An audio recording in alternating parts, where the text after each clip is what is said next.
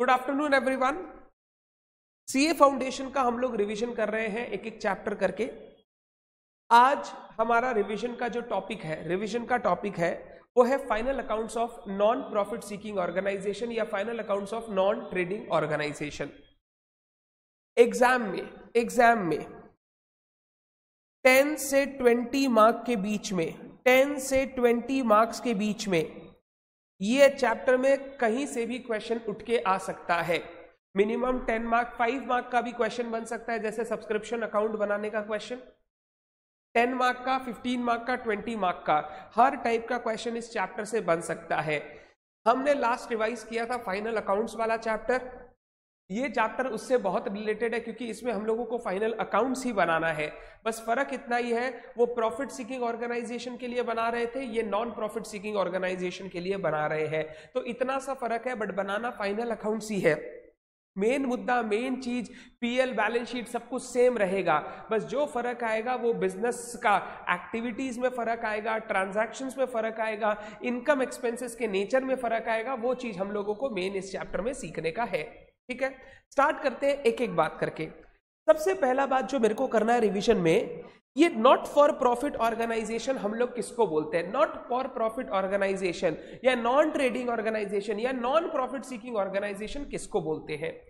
ये ऑर्गेनाइजेशंस ऐसे ऑर्गेनाइजेशन है जो पब्लिक के वेलफेयर के लिए या इनके जो मेंबर्स होते हैं इन ऑर्गेनाइजेशन के, उन मेंबर्स के लिए अपना सारा पूंजी, पैसा रिसोर्सेज यूज़ करते हैं। जो ऑर्गेनाइजेशन का motive profit earning profit seeking नहीं है बट पब्लिक को और अपने मेंबर्स को सेवा देना है, उन ऑर्गेनाइजेशन को हम लोग बोलते हैं नॉन प्रॉफिट सीकिंग ऑर्गेनाइजेशन ये एक्टिविटीज़ अंडरटेक करते हैं, पैसों का लेन देन करते हैं, कुछ बिज़नेस एक्टिविटीज़ भी करते हैं बट इनके पास जो भी इन एक्टिविटीज़ से पैसा आता है रिसोर्सेज आता है, इनका कभी ये मोटिव नहीं है कि उस पैसा को हम लोग अपने मालिक को बांटेंगे, उस पैसा को हम लोग अपने मालिक को दे देंगे एज डिविडेंड ये इनका कभी मोटिव नहीं रहता। ये बोलते हैं, हमारे पास जो भी पैसा आएगा, जो भी रिसोर्सेज होंगे, जो भी आएगा, वो हम लोग अपने मेंबर्स के वेलफेयर के लिए ओवरऑल वेलफेयर के लिए या पब्लिक के वेलफेयर के लिए यूज़ करेंगे। ऐसी ऑर्गेनाइजेशन जिनका मेन मोटिव प्रॉफिट कमाना नहीं है वेलफेयर करना है, जो अपने प्रॉफिट को डिस्ट्रीब्यूट नहीं करते वेलफेयर के लिए यूज़ करते हैं, उन ऑर्गेनाइजेशन को हम लोग नॉन प्रॉफिट सीकिंग ऑर्गेनाइजेशन बोलते हैं। अगर नॉन प्रॉफिट सीकिंग ऑर्गेनाइजेशन का आपको एग्ज़ाम्पल चाहिए नॉन प्रॉफिट सीकिंग का। सबसे बेस्ट एग्ज़ाम्पल आपके सामने आपकी इंस्टीट्यूट्स आईसीएआई आईसीएमएआई ये सारी इंस्टीट्यूट जो है, ये नॉन प्रॉफिट सीकिंग ऑर्गेनाइजेशन है। ये जो आपसे पैसे लेते हैं, अपनी एक्टिविटीज़ कंडक्ट करते हैं, इनका प्रॉफिट कमाने का कोई मुद्दा नहीं रहता। इनके कोई मालिक नहीं होते जिनके लिए ये अपना पैसा यूज़ करते हैं। ये सारा का सारा जो भी पैसा इनके पास आता है, ये हमारे वेलफेयर के लिए स्टूडेंट्स के लिए मेंबर्स के लिए इंडस्ट्री के लिए खर्चा करते हैं यूज़ करते हैं। तो ये नॉन प्रॉफिट सीकिंग ऑर्गेनाइजेशन है। जितने भी एनजीओ होते हैं एनजीओ नॉन गवर्नमेंटल ऑर्गेनाइजेशन जो वेलफेयर का काम करते हैं, वो एनपीओ होते हैं। उसके बाद हॉस्पिटल्स क्लब्स क्लब्स मतलब वाला नहीं क्लब्स मतलब जो पाड़ा का क्लब आप देखते हो रोटरी क्लब देखते हो लायंस क्लब देखते हो, ये सारे क्लब्स की बात कर रहा हूँ। उसके बाद schools educational institute, not me. I am a private institute. I am not here for welfare only. I have also a profit seeking objective. झूठ क्यों बोलना है? कमाई करते हैं, घर चलाने के लिए कमाई करते हैं, मेहनत करके कमाई करते हैं वेलफेयर भी करते हैं। ऐसा नहीं है कि हम लोग सारा का सारा पैसा खुद के पॉकेट में ले जाके मर्सिडीज गाड़ी में घूमते हैं। अपना लाइफस्टाइल भी है, उसके लिए भी पैसा कमाते हैं और वेलफेयर भी साथ साथ करते हैं। बट हम लोग नॉन प्रॉफिट सीकिंग ऑर्गेनाइजेशन नहीं है। हम लोग प्रॉफिट सीकिंग ऑर्गेनाइजेशन है। ये सारी जो ऑर्गेनाइजेशंस आपको दिख रही हैं, जो मैंने एग्ज़ाम्पल लिखा, इनको हम लोग बोलते हैं नॉन प्रॉफिट सीकिंग ऑर्गेनाइजेशन दो बात हमेशा ध्यान रखो ऑब्जेक्टिव प्रॉफिट कमाना नहीं है वेलफेयर है। प्रॉफिट कमा भी लिया रिसोर्सेज आ भी गया तो उस रिसोर्सेज को हम लोग किसी मालिक को बांटने के लिए नहीं रखे हैं, उस रिसोर्सेज को वेलफेयर करने के लिए यूज़ करेंगे। ऐसे एंटिटीज को नॉन प्रॉफिट सीकिंग ऑर्गेनाइजेशन बोला जाता है। अब सर, ये नॉन प्रॉफिट सीकिंग ऑर्गेनाइजेशन का काम प्रॉफिट कमाना नहीं है बिज़नेस करना नहीं है तो सर हम लोग इसका अकाउंटिंग फाइनल अकाउंट्स क्यों बना रहे हैं? जो मॉनिटरी एक्टिविटीज़ इकोनॉमिक एक्टिविटीज़ करते हैं, उन सबको अपना हिसाब डे टू डे रखना पड़ता है। इन एनजीओ से कोई मालिक जाके हिसाब नहीं लेता है बट जो पब्लिक है सोसाइटी है गवर्नमेंट है, इनके जो इनके जो रजिस्ट्रेशन करने वाली अथॉरिटीज है, वो इनसे टाइम टू टाइम हिसाब मांगते हैं कि तुमने क्या किया, क्या तुमने सच में वेलफेयर का काम किया है कि नहीं किया? उसके लिए इनसे इनका हिसाब मांगा जाता है, इनसे इनके फाइनेंशियल स्टेटमेंट्स मांगे जाते हैं फॉर इंफॉर्मेशन पर्पज तो इन लोगों को भी अपना अकाउंटिंग करना पड़ता है। फाइनल अकाउंट्स फाइनेंशियल स्टेटमेंट बनाना पड़ता है ताकि अपने स्टेक होल्डर को इंफॉर्मेशन दे सके कि are we really serving the people are we learning really helping for the welfare of the public और members at large if we are not doing then हमारा रजिस्ट्रेशन कैंसिल हो जाएगा, हमारा certificate cancel हो जाएगा। अगर हम लोग कर रहे हैं तो हमें इनकम टैक्स में एग्जामेशन मिलेंगे। गवर्नमेंट हमें सुविधाएँ देगी ग्रांट देगी सब्सिडी देगी तो इनको भी अपने फाइनेंशियल स्टेटमेंट मेंटेन करने पड़ते हैं ताकि वो टाइम टू टाइम इंफॉर्मेशन लोगों को पास ऑन कर सके। सर, क्या इनके फाइनेंशियल स्टेटमेंट में ट्रेडिंग पीएल बैलेंस शीट बनेगा? आंसर इज़ नहीं। इनके फाइनेंशियल स्टेटमेंट में ट्रेडिंग पीएल बैलेंस शीट ऐसे नहीं बनता। इनके फाइनेंशियल स्टेटमेंट्स में हम लोग बनाते हैं तीन चीज़। तीनों चीज़ का नाम सिखाया हुआ है। रिसीट एंड पेमेंट अकाउंट दूसरा इनकम एंड एक्सपेंडिचर अकाउंट तीसरा बैलेंस शीट बैलेंस शीट आपको ऑलरेडी बनाना आता है statement of assets and liabilities अब रिसीट पेमेंट इनकम एक्सपेंडिचर क्या हो गया? Receipt payment is nothing but a summarise cash book summarise cash book हम लोग प्रॉफिट सीकिंग ऑर्गेनाइजेशन में एक कैश फ्लो स्टेटमेंट बनाना सीखेंगे. इंटर लेवल पे सिखाऊँगा जब आप कंपनीज़ के फाइनेंशियल स्टेटमेंट्स बनाओगे. तो कंपनीज़ को एक कैश फ्लो स्टेटमेंट बनाना होता है, वो भी समराइज कैश बुक ही है. तो इन लोग को भी एक समराइज कैश बुक बनाना है, जिसको रिसीट एंड पेमेंट अकाउंट बोलते हैं. Income expend expenditure account is nothing but the profit and loss account ये लोग ट्रेडिंग पीएल अलग से नहीं बनाते, ये ये लोग इनकम एंड एक्सपेंडिचर अकाउंट बनाते हैं जो पीएल ही होता है, जिससे ये लोग कैलकुलेट करते हैं इनके पास कितना सरप्लस बचा या इन्होंने इस साल कितना डेफिसिट किया, जिसको हम लोग प्रॉफिट और लॉस बोलते हैं। ये ये लोग उसको सरप्लस या डेफिसिट बोलते हैं। तो जब हम लोग एनटीओ के फाइनल अकाउंट्स बनाएँगे, तीन चीज़। तीन चीज़, ध्यान से। एक हो गया रिसीट एंड पेमेंट अकाउंट दूसरा हो गया इनकम एंड एक्सपेंडिचर अकाउंट तीसरा हो गया बैलेंस शीट डन है बात? अब एक एक फाइनल अकाउंट्स के बारे में कुछ छोटी छोटी चीज़ें मेरे को आपसे डिस्कस करनी है। मैंने आपको कॉपी में बहुत अच्छी तरीके से ये चीज़ें लिखाई थी, तीनों का एक डायग्राम बना के। Receipt payment income expenditure balance sheet ध्यान से सुनते जाना। रिसीट पेमेंट अकाउंट क्या है? सर, कुछ नहीं है, ये एक समराइज कैश बुक है। ये एक समराइज्ड कैश बुक है, ठीक है? अब मेरे को एक बात बताओ कैश बुक में आप क्या रिकॉर्ड करते हो? सर कैश बुक में हम लोग रिकॉर्ड करते हैं कहाँ कहाँ से पैसा आया है, यानी रिसीट्स ऑफ़ कैश और कहाँ कहाँ पे पैसा हमने यूज़ किया यानी पेमेंट्स ऑफ़ कैश यहाँ पर भी हम लोग रिकॉर्ड करेंगे कि एनटीओ के पास किस किस सोर्स से पैसा आया और कहाँ कहाँ इसने पैसा यूज़ किया है द रिसीट्स एंड पेमेंट अब ये रिसीट पेमेंट फ़र्क नहीं पड़ता कैपिटल नेचर की हो या रेवेन्यू नेचर की हो। कैश बुक जब हम लोग बनाते थे तो सेल से पैसा आया तो भी वहाँ दिखाते थे, कैपिटल का पैसा आया तो भी दिखाते थे, फिक्स्ड एसेट बेच के आया तो भी दिखाते थे। फिक्स्ड एसेट बेचने के, खरीदने के लिए पैसा लगा तो भी दिखाते थे, परचेज करते थे तो भी दिखाते थे, सैलरी का खर्चा लगता था तो भी दिखाते थे। तो जब मैं रिसीट पेमेंट बनाऊँगा, हमेशा याद रखना, यहाँ पे कैपिटल नेचर के रिसीट पेमेंट भी आएँगे, रेवेन्यू नेचर के भी रिसीट पेमेंट आएँगे। तो दो चीज़ बोला कहाँ कहाँ से पैसा आया, कहाँ कहाँ यूज़ किया ड्यूरिंग द पीरियड दूसरा, चाहे कैपिटल नेचर से आओ, चाहे रेवेन्यू नेचर से आओ, फ़र्क नहीं पड़ता, यहाँ दोनों ही चीज़ आएगा। तीसरा मैंने आपको बोला था, यहाँ पर हम लोग अक्रूवल बेसिस फॉलो नहीं करेंगे कैश बेसिस फॉलो करेंगे। हम लोगों को मतलब होगा कितना मिला, कितना दिया। अक्रियो कितना हुआ, उससे हम लोगों को रिसीट पेमेंट बनाते समय ध्यान नहीं देना है। चौथा, क्योंकि ये कैश बुक बना रहे हो, अगर कोई नॉन कैश नेचर के आइटम्स है नॉन कैश नेचर के आइटम्स उनको हम लोग यहाँ पे कंसिडर नहीं करते हैं, क्योंकि वो नॉन कैश नेचर के, उनमें ना कोई रिसीट हुआ, ना कोई पेमेंट हुआ। रिसीट पेमेंट हमेशा स्टार्ट होता है opening and opening balance of cash and bank और एंड होगा हमेशा closing balance of cash and bank तो starting point opening cash balance opening bank balance ending point closing cash balance closing bank balance total मैंने पाँच point बोला, वापस एक बार सुन लो। पहला, यहाँ पे हम लोग दिखाते हैं सारा रिसीट्स ऑफ़ कैश सारा पेमेंट्स ऑफ़ कैश चाहे रेवेन्यू नेचर का, चाहे कैपिटल नेचर का। तीसरा starting opening balance of cash bank ending closing balance of cash bank non cash nature के आइटम नहीं दिखाएँगे यहाँ पर। तो ये एक बेसिक कैरेक्टरिस्टिक है रिसीट पेमेंट बनाते समय ये चार पाँच पॉइंट आपको हमेशा याद होने चाहिए। अक्रूवल बेसिस फॉलो नहीं करना है कैश बेसिस फॉलो करना है। तो ये हो गया receipt and payment account sir proprietorship में आपने हमें ऐसा कोई रिसीट पेमेंट अकाउंट बनाना नहीं सिखाया फाइनल अकाउंट्स में। सर इन लोगों के लिए ये रिसीट पेमेंट अकाउंट इतना ज़रूरी क्यों है? हम लोगों को तो यही चेक करना है ना कि इनके पास जो भी पैसा आता है, ये लोग कहाँ कहाँ यूज़ करता है। कहीं ये पैसा अपने मालिक लोग को बांटने के लिए या अपने जो ट्रस्टी वगैरह लोग हैं, उनके पर्सनल यूज़ के लिए तो उठा नहीं लिया है। सौ करोड़ रुपया सब्सिडी आया सौ करोड़ रुपया ट्रस्टी साफ़ करके ले गया। तो ऐसा ऐसा ऑर्गेनाइजेशन को क्या आप बेनिफिट देंगे? आंसर इज़ नो तो ये रिसीट पेमेंट से आपको पता चलता है कहाँ कहाँ से पैसा सोर्स हुआ और कहाँ कहाँ पे उसको अप्लाई किया गया है। Whether welfare activities are being carried on properly और नॉट तो इसीलिए receipt payment account is a very important part of final accounts of a non profit seeking organization आगे चलो नेक्स्ट क्वेश्चन अभी नहीं next income and expenditure account income expenditure account इस type के, इस टाइप के ऑर्गेनाइजेशन का क्या है? Profit and loss account profit and loss account हम लोग क्यों बनाते थे sir? Net profit net loss calculate करने के लिए। यहाँ पे भी हम लोग प्रॉफिट एंड लॉस अकाउंट बनाते हैं प्रॉफिट लॉस कैलकुलेट करने के लिए बट यहाँ पे नाम बदल जाएगा। यहाँ पे उसका फाइनल रिज़ल्ट निकलेगा सरप्लस या डेफिसिट सरप्लस मतलब जब आपका इनकम एक्सीड करेगा एक्सपेंडिचर को इनकम एक्सीड करेगा एक्सपेंडिचर को सरप्लस एक्सपेंडिचर एक्सीड करेगा इनकम को तो उसको क्या बोलेंगे? डेफिसिट ट्रू फॉल्स में आ सकता है, ध्यान रखना. When the income of an NTO exceeds its expenditure the resultant figure is surplus when expenditure exceeds income the resultant figure is deficit always remember the two names बहुत बहुत बहुत important आगे चलता हूँ. इनकम एंड एक्सपेंडिचर अकाउंट का कुछ characteristic पहला ये एक रेवेन्यू नेचर का अकाउंट है। यहाँ पे कैपिटल नेचर के आइटम्स नहीं आएँगे। जब भी इनकम एक्सपेंडिचर बनाएँगे, सिर्फ़ रेवेन्यू नेचर के रिसीट्स पेमेंट आएँगे। यानी सेल्स परचेज सेल्स परचेज ऐसे एग्जांपल दे रहा हूँ। सेल्स परचेज रेगुलर एक्सपेंसेस ये सारी चीज़ें आएँगी।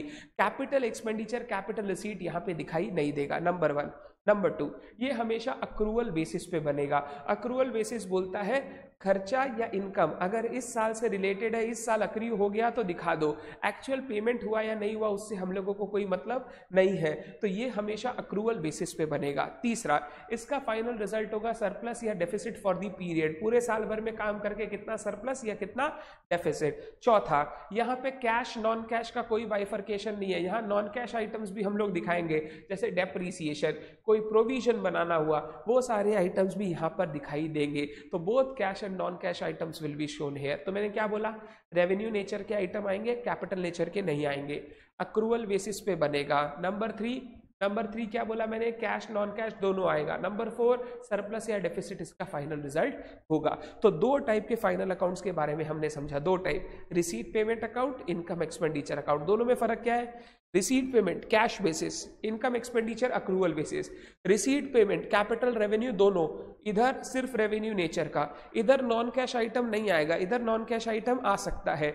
इधर closing balance of cash bank निकलेगा। इधर सरप्लस डेफिसिट निकलेगा। एग्ज़ाम में एक क्वेश्चन आ सकता है difference between receipt payment and income expenditure तो आपको ये सारा पॉइंट्स लिखना पड़ेगा। और मैंने आपको क्लास की कॉपी में सबसे शुरू में फाइनल अकाउंट्स के कंपोनेंट्स दिखाए थे और उनके बारे में ब्रीफ डिस्क्रिप्शन आपको दिया होगा। चेक कर सकते हो कॉपी पहले बताइए दोनों ठीक है? सर, एक चीज़ और बता दो ना। दो के बारे में बता दिया तो तीसरा भी बता दो बैलेंस शीट बताने की ज़रूरत नहीं, आपको पता है। बैलेंस शीट पॉइंट स्टेटमेंट है। एसेट्स एंड लाइबिलिटीज का स्टेटमेंट है ऑन अ पर्टिकुलर डेट मान लो थर्टी फ़र्स्ट मार्च का आप फाइनल अकाउंट्स बना रहे हो तो थर्टी फ़र्स्ट मार्च के दिन एनटीओ के पास कितने एसेट्स है, कितने लाइबिलिटीज है, वो सारा सारा आपको बैलेंस शीट में दिखाई देगा। Total of asset side will be equal to total of liability side एक बात ध्यान से याद रखना। यहाँ पे अगर टोटल एसेट से लाइबिलिटी माइनस कर दो एक्सटर्नल तो जो बचेगा उसको कैपिटल नहीं बोल के हम लोग कैपिटल फंड बोलते हैं। कैपिटल फंड जनरल फंड या अक्यूमुलेटेड फंड ये कैपिटल फंड कहाँ से आता है? मेंबर्स लोग देते हैं। इनके पास जो पैसा आता है, जिसके पीछे कोई अलग ऑब्लिगेशन नहीं होता है, जो रेगुलर डोनेशंस वगैरह आते हैं, उससे इनका ये कैपिटल बनता है। ये जो सरप्लस वगैरह होगा, उनसे इनका ये कैपिटल बिल्ड होता है।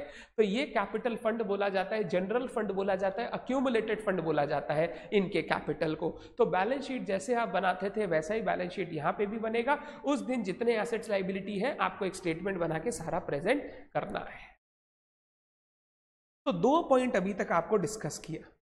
पहला पॉइंट डिस्कस किया, एक नॉन ट्रेडिंग ऑर्गेनाइजेशन क्या होता है? दूसरा पॉइंट डिस्कस किया नॉन ट्रेडिंग ऑर्गेनाइजेशन के फाइनल अकाउंट्स में तीन statement receipt payment income expenditure balance sheet कोई बच्चे को डाउट कोई बच्चे को डाउट आप लिख सकते हो अगर यहाँ तक कोई डाउट है तो क्योंकि इसके बाद मैं मेन बातों पे आ जाऊँगा। अब मेन बातें शुरू होंगी। चले आगे? ठीक है। अब हम लोगों को पढ़ना है। मैंने आपको जैसे बोला था, ये नॉन ट्रेडिंग ऑर्गेनाइजेशन का जो फाइनल अकाउंट्स है, वो नॉर्मल फाइनल अकाउंट से कहाँ डिफर करेगा?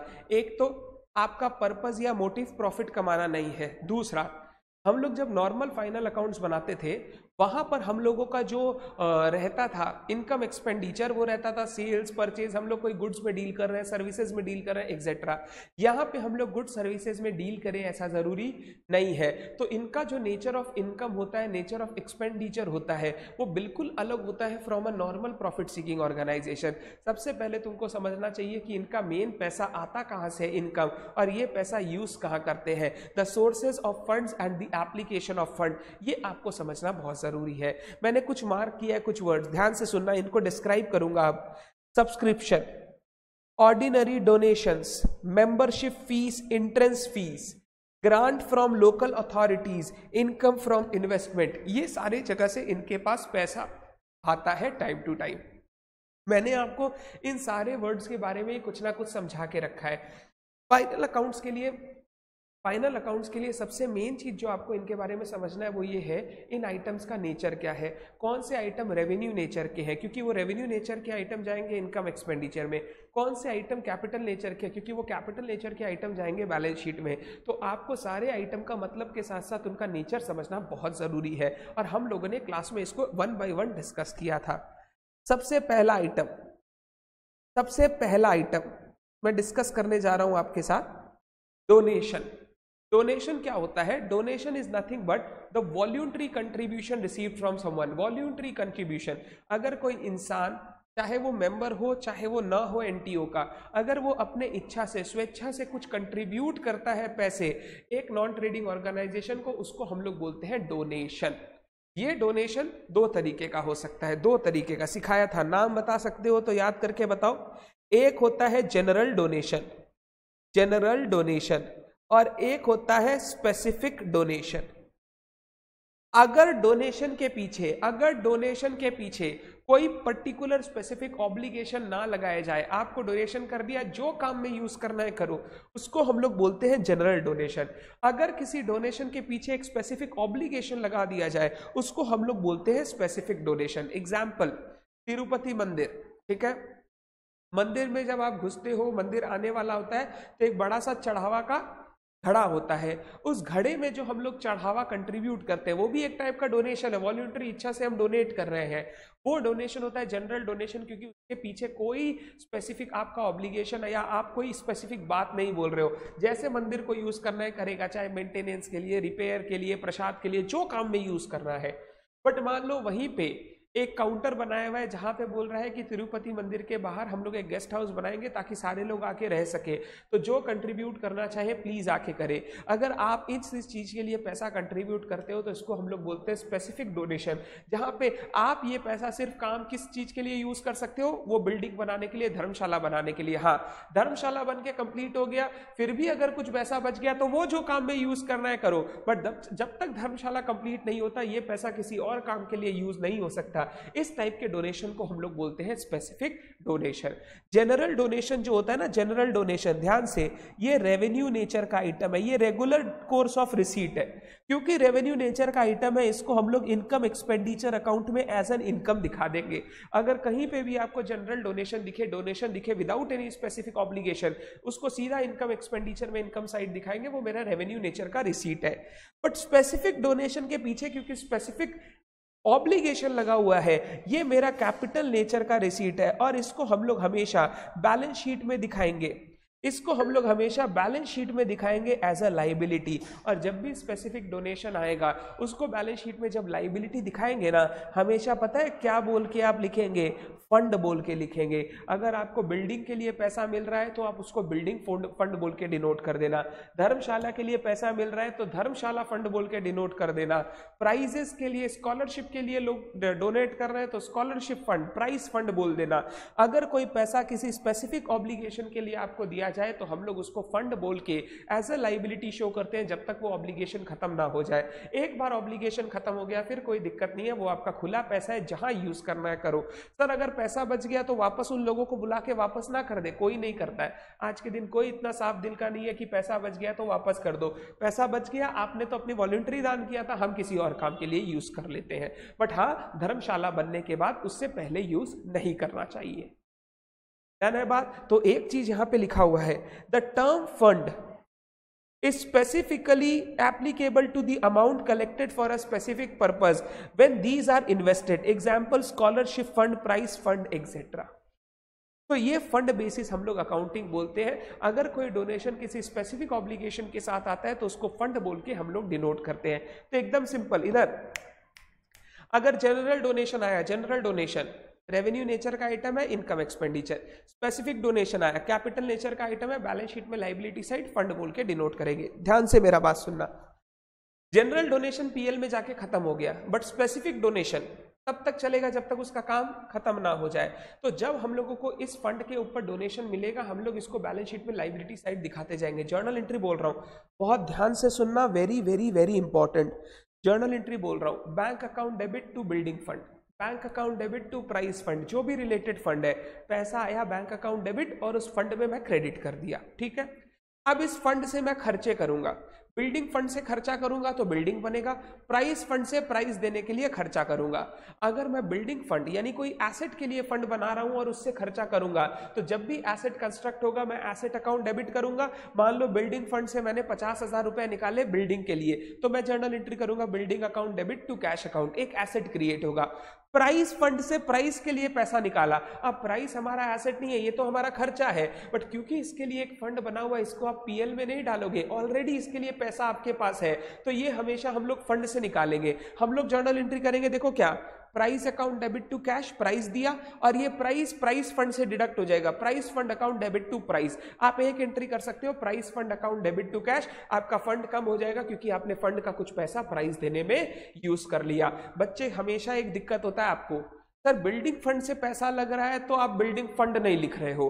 बट प्राइस फंड से पैसा लग रहा है तो आप प्राइस फंड लिख रहे हो। ऐसा क्यों? क्योंकि बिल्डिंग फंड से पैसा निकल रहा है तो एक एसेट क्रिएट हो रहा है। जब भी एसेट क्रिएट होगा एसेट अकाउंट में डेबिट होगा। बट प्राइस फंड से कोई एसेट क्रिएट नहीं हो रहा है। इसीलिए मैं फंड को कम कर रहा हूँ क्योंकि prize is not my asset वो खर्चा है। अगर मैं प्राइस टू कैश भी करूँगा तो वो खर्चा राइट ऑफ़ करने के लिए prize fund account debit to prize मेरे को करना पड़ेगा। तो ऑलवेज रिमेंबर अगर आप कोई स्पेसिफिक डोनेशन रिसीव करते हो for the purpose of an asset तो वो खर्चा एसेट अकाउंट में डेबिट होगा, जब भी आप खर्चा करोगे। अगर कोई रेवेन्यू नेचर के लिए आप पैसे के लिए फंड रिसीव करते हो तो वो हमेशा फंड से डिडक्ट हो जाएगा। Prize fund account debit to cash यहाँ पे मेन डिफरेंस है जो आपको ध्यान रखना है। बहुत बार ऐसा होता है, हमारे पास फंड बहुत बड़ा आ गया बट एक बार में सारा पैसा नहीं चाहिए तो नॉन ट्रेडिंग ऑर्गेनाइजेशन क्या करता है, इस पैसे का इन्वेस्टमेंट कर देता है एफडी में डाल देता है गवर्नमेंट सिक्योरिटीज में डाल देता है इक्विटी शेयर्स मत खरीद लेना मार्केट में जाके फाटका मत कर लेना, ये सब सिक्योर्ड इन्वेस्टमेंट में पैसा डाल देते हैं। जब हम लोग इन्वेस्टमेंट परचेज करते हैं, एकदम basic investment account debit to bank अगर प्राइस फंड से है तो prize fund investment building fund से है तो building fund investment account debit to bank asset आ गया बिल्डिंग फंड इन्वेस्टमेंट बोल के। अब इस इन्वेस्टमेंट पर हमको टाइम टू टाइम इंटरेस्ट मिलेगा। ये जो इंटरेस्ट मिलेगा, ये मेरा इनकम है। बट ये जो इनकम है ना, ये मैं कोई और काम के लिए यूज़ नहीं कर सकता। ये बिल्डिंग फंड के पैसे से आया हुआ इनकम है। ये बिल्डिंग फंड अकाउंट में ही चला जाएगा। कोई भी इनकम अगर आप रिसीव करते हो on temporary investment of these fund बनी वो हमेशा उसी फंड अकाउंट में क्रेडिट होगा। जर्नल एंट्री बोल रहा हूँ। इंटरेस्ट मिल रहा है। Bank account debit to interest interest account debit to PL नहीं interest account debit to building fund और वो फंड में जाके पैसा ऐड हो जाएगा। ऑलवेज रिमेंबर फंड के लिए डोनेशन आएगा फंड में ऐड कर दो। फंड से पैसा इन्वेस्ट किया तो इन्वेस्टमेंट एसेट आ गया। उस एसेट से अगर कोई इंटरेस्ट आ गया तो वो भी फंड में ऐड कर दो। फंड से अगर कोई खर्चा किए बिल्डिंग बनाने के लिए किए तो बिल्डिंग आ जाएगा। प्राइस के लिए किए तो फंड से ही लेस कर देना, क्योंकि prize is not our asset वो हमने दे के खत्म कर दी क्या सारे बच्चे को। ये फंड बेस्ड अकाउंटिंग क्लियर है, क्योंकि बच्चे आपको दिक्कत होता है। कहाँ कहाँ दिक्कत होता है बता देता हूँ। पहला दिक्कत होता है, सर बिल्डिंग फंड से खर्चा किया तो बिल्डिंग फंड डेबिट क्यों नहीं किया? क्योंकि एसेट बना रहा हूँ एसेट में आएगा। प्राइस फंड से खर्चा करूँगा तो प्राइस फंड कम करते जाऊँगा। फंड से रिलेटेड अगर कोई इन्वेस्टमेंट है और उससे कोई इंटरेस्ट आता है तो वो फंड में ही क्रेडिट होगा, वो कभी भी पीएल में नहीं जाएगा। और इसके ऊपर आपको पता है ट्रू फॉल्स एग्ज़ाम में आ सकता है। Any income any income from temporary investment out of building fund shall be credited to PL answer is false it cannot be credited to PL it shall be credited to building fund क्योंकि वो obligation है वो पैसा भी आपको building के लिए use करना है वो पैसा आप अपने काम के लिए यूज़ नहीं कर सकते सारे बच्चे, एक बार चैट में लिख के बताओ, क्या सबको फंड अकाउंटिंग क्लियर है? Fund accounting is very very very important और कुछ नया है जो आपने सीखा है? बचपन में नॉर्मली नहीं करते हैं आप लोग। Very good very good very good तुम लोग सब जागा हुआ है। वेरी गुड थैंक यू आगे चलता हूँ। डोनेशन के बाद entrance and admission fee entrance fee या एडमिशन फ़ी क्या होता है? जब भी मेंबर पहली बार किसी एनटीओ का मेंबर बनता है तो उससे एक लमसम पेमेंट लिया जाता है at the time of his entry और admission to the admission to the NTO इस फ़ीस को हम लोग बोलते हैं इंट्रेंस या एडमिशन फ़ी क्योंकि ये एक वन टाइम रिसीट है। ये इंट्रेंस या एडमिशन फ़ी हमारे लिए पता है क्या है? कैपिटल रिसीट है। कौन सी रिसीट है? कैपिटल रिसीट है। क्योंकि ये कैपिटल रिसीट है, पता है हम लोग इसको क्या करते हैं? बैलेंस शीट में कैपिटल फंड से ऐड कर देते हैं। बैलेंस शीट में कैपिटल फंड से ऐड कर देते हैं। सर, एक डाउट है। सर, एक डाउट है। एक एग्ज़ाम्पल रिपीट करिए, मानसी करूँगा। सर, एक डाउट है। क्या डाउट है, सर? यहाँ पे कैपिटल रिसीट था। आपने बैलेंस शीट में लाइबिलिटी बोल के दिखाया। यहाँ पे भी कैपिटल रिसीट है बट आप लाइबिलिटी बोल के नहीं दिखा रहे हो, आप कैपिटल फंड में ऐड कर रहे हो। ऐसा क्यों? कोई बच्चा इसका आंसर दे प्लीज़ मैं फिर से बोल रहा हूँ। स्पेसिफिक डोनेशन भी एक कैपिटल रिसीट था। बट मैंने उसको बोला बैलेंस शीट में लाइबिलिटी साइड में दिखाओ। लाइबिलिटी बोल के कैपिटल फंड में ऐड मत करो। बट यहाँ पे मैंने उसको बोला कि कैपिटल फंड में ऐड कर दो लाइबिलिटी बोल के नहीं दिखाना है। बच्चे लिख रहे हैं लाइबिलिटी अटैच्ड है पहले वाले फंड से, कोई ऑब्लिगेशन नहीं है। इससे रिलेटेड कोई ऑब्लिगेशन नहीं। वेरी वेरी वेरी गुड आपके कॉन्सेप्ट बहुत क्लियर है। जो मेरा डोनेशन लिया हुआ था, उसके पीछे मेरा ऑब्लिगेशन था। जब भी मेरा कोई स्पेसिफिक ऑब्लिगेशन होता है, मैं उसको कैपिटल फंड नहीं बोल सकता हूँ। कैपिटल फंड मतलब देर इज़ नो ऑब्लिगेशन जैसे इच्छा वैसे यूज़ करो। बट लाइबिलिटी मतलब देर इज़ एन ऑब्लिगेशन उसको पहले मैं वो काम के लिए यूज़ करूँगा। जब तक वो काम खत्म नहीं होगा, तब तक मैं इसको और दूसरे काम में यूज़ नहीं कर सकता। इसीलिए एक बात सिखाया था, याद है? बिल्डिंग फंड जैसे ही बिल्डिंग बन जाए बिल्डिंग कंप्लीट हो जाए बिल्डिंग फंड में जो भी बैलेंस बचेगा, एक बड़ा बैलेंस आएगा, वो बड़े बैलेंस को कैपिटल फंड में ट्रांसफ़र कर देना। क्यों? जब बिल्डिंग बन हो गया, उसका काम कंप्लीट अब उसको मैं कोई भी काम में यूज़ कर सकता हूँ। उस कैपिटल फंड का एक पार्ट बिल्डिंग है, जो मैं कोई भी काम में यूज़ कर सकता हूँ। और दूसरा पार्ट कुछ बचा हुआ है तो कैश वगैरह है, जिसको मैं अलग काम के लिए यूज़ कर सकता हूँ। तो जब तक ऑब्लिगेशन है, तब तक लाइबिलिटी जब ऑब्लिगेशन खत्म हो जाए तो वो बन जाता है कैपिटल फंड क्योंकि एंट्रेंस या एडमिशन फ़ी से रिलेटेड एज सच कोई ऑब्लिगेशन नहीं होता है। इसीलिए उसको हम लोग लाइबिलिटी बोल के नहीं दिखाते कैपिटल फंड से ऐड करते हैं। बिल्कुल, बहुत अच्छा आपका आंसर आया। थैंक यू सो मच अब सुनना मेरी बात। एक चीज़ यहाँ पे लिखा हुआ है, वो चीज़ आपको पढ़ाना चाहता हूँ। Such fees which are payable by a member on admission to a club or society are normally considered as capital receipt credited to capital fund this is because these do not give rise to any specific obligation towards the member जो आपने बोला ना, वो यहाँ theory में लिखा हुआ है। मैं हमेशा मैथ पढ़ने, मैंने क्लास में बोल दिया। बट मैं मैथ पढ़ने क्यों बोलता हूँ? आपका उससे कॉन्सेप्ट बहुत अच्छे से क्लियर होता है। आगे। नेवर दिलेस ध्यान से सुनना। अब कैपिटल रिसीट है तो कैपिटल फंड में दिखा दिया। बट अगर ये एंट्रेंस फ़ी और एडमिशन फ़ी का अमाउंट बहुत कम है, और मान लो सिर्फ़ जो एडमिशन के समय जो खर्चा लगा, उसी को हमने उससे कलेक्ट किया, उस केस में फिर वो एडमिशन फ़ी को इंट्रेंस फ़ी को हम लोग पता कैपिटलाइज नहीं करेंगे।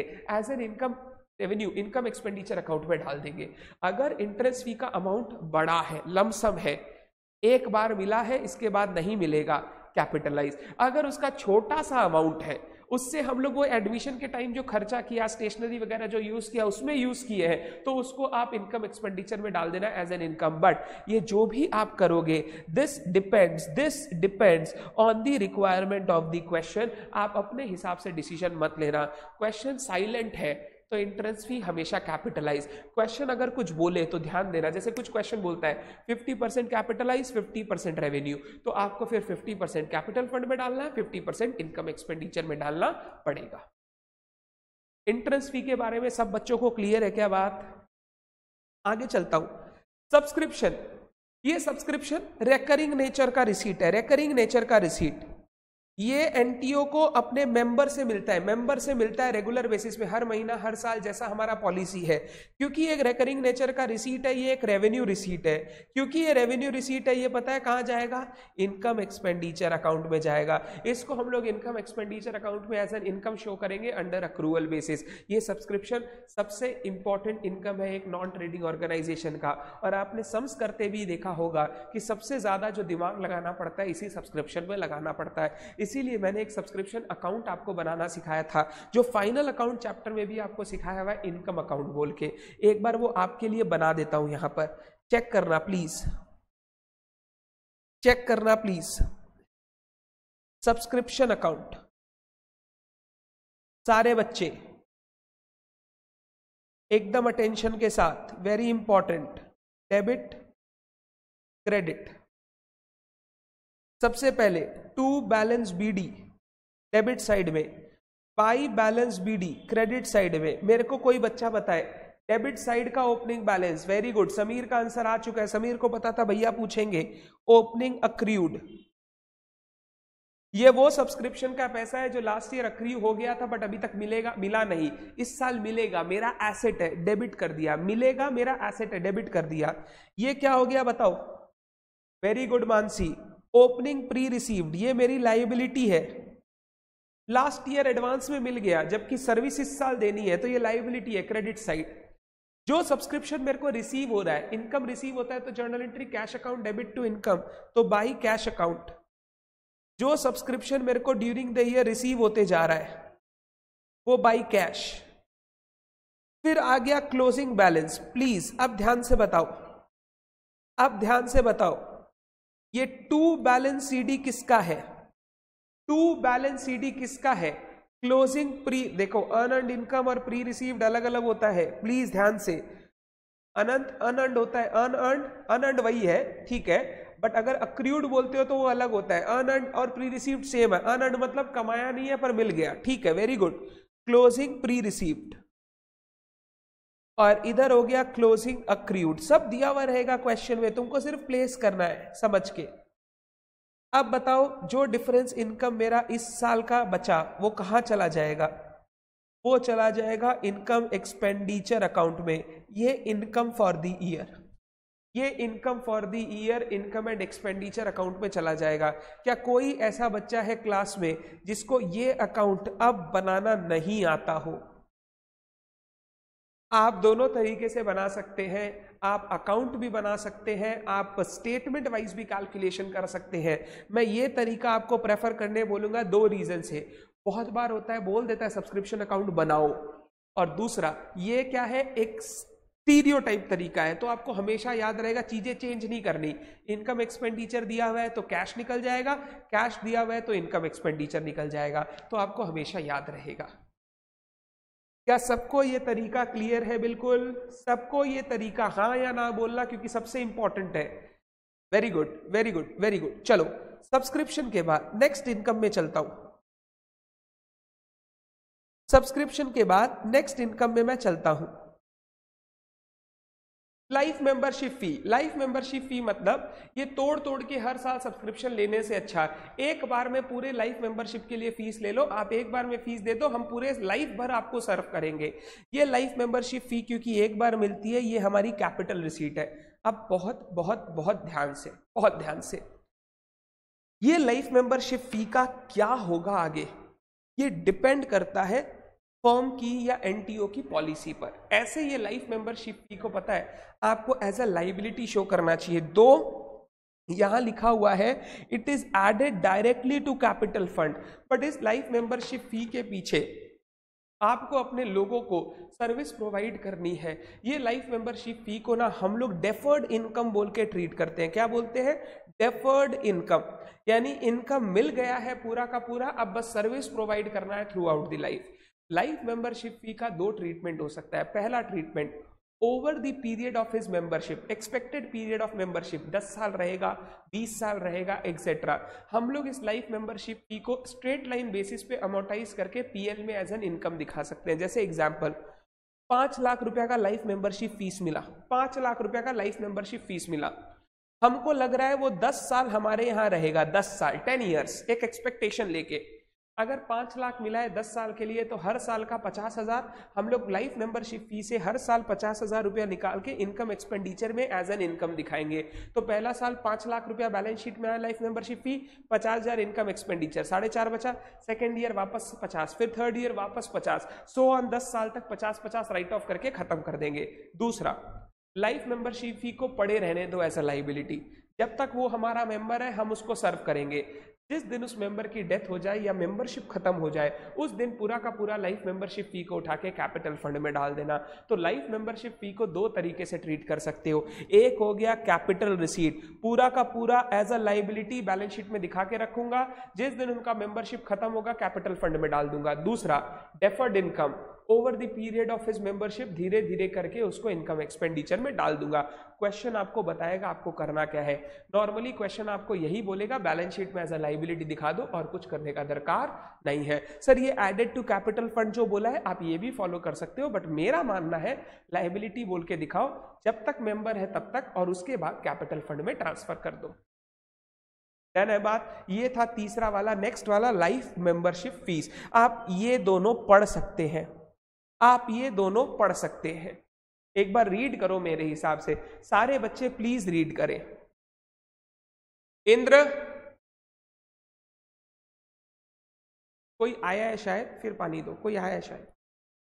The entire amount may be carried forward in a special account and until the member dies the same uh, when the same may be transferred to the credit of accumulated fund. जब तक member है तब तक accumulate करके रखेंगे life membership फ़ी जिस दिन वो गया, उस दिन पूरा का पूरा जनरल फंड में चला जाएगा कैपिटल फंड में। दूसरा an amount equal to normal annual subscription हर साल का annual subscription may be transferred to income expenditure balance carried forward till it is exhausted जब तक वो है, रहेगा।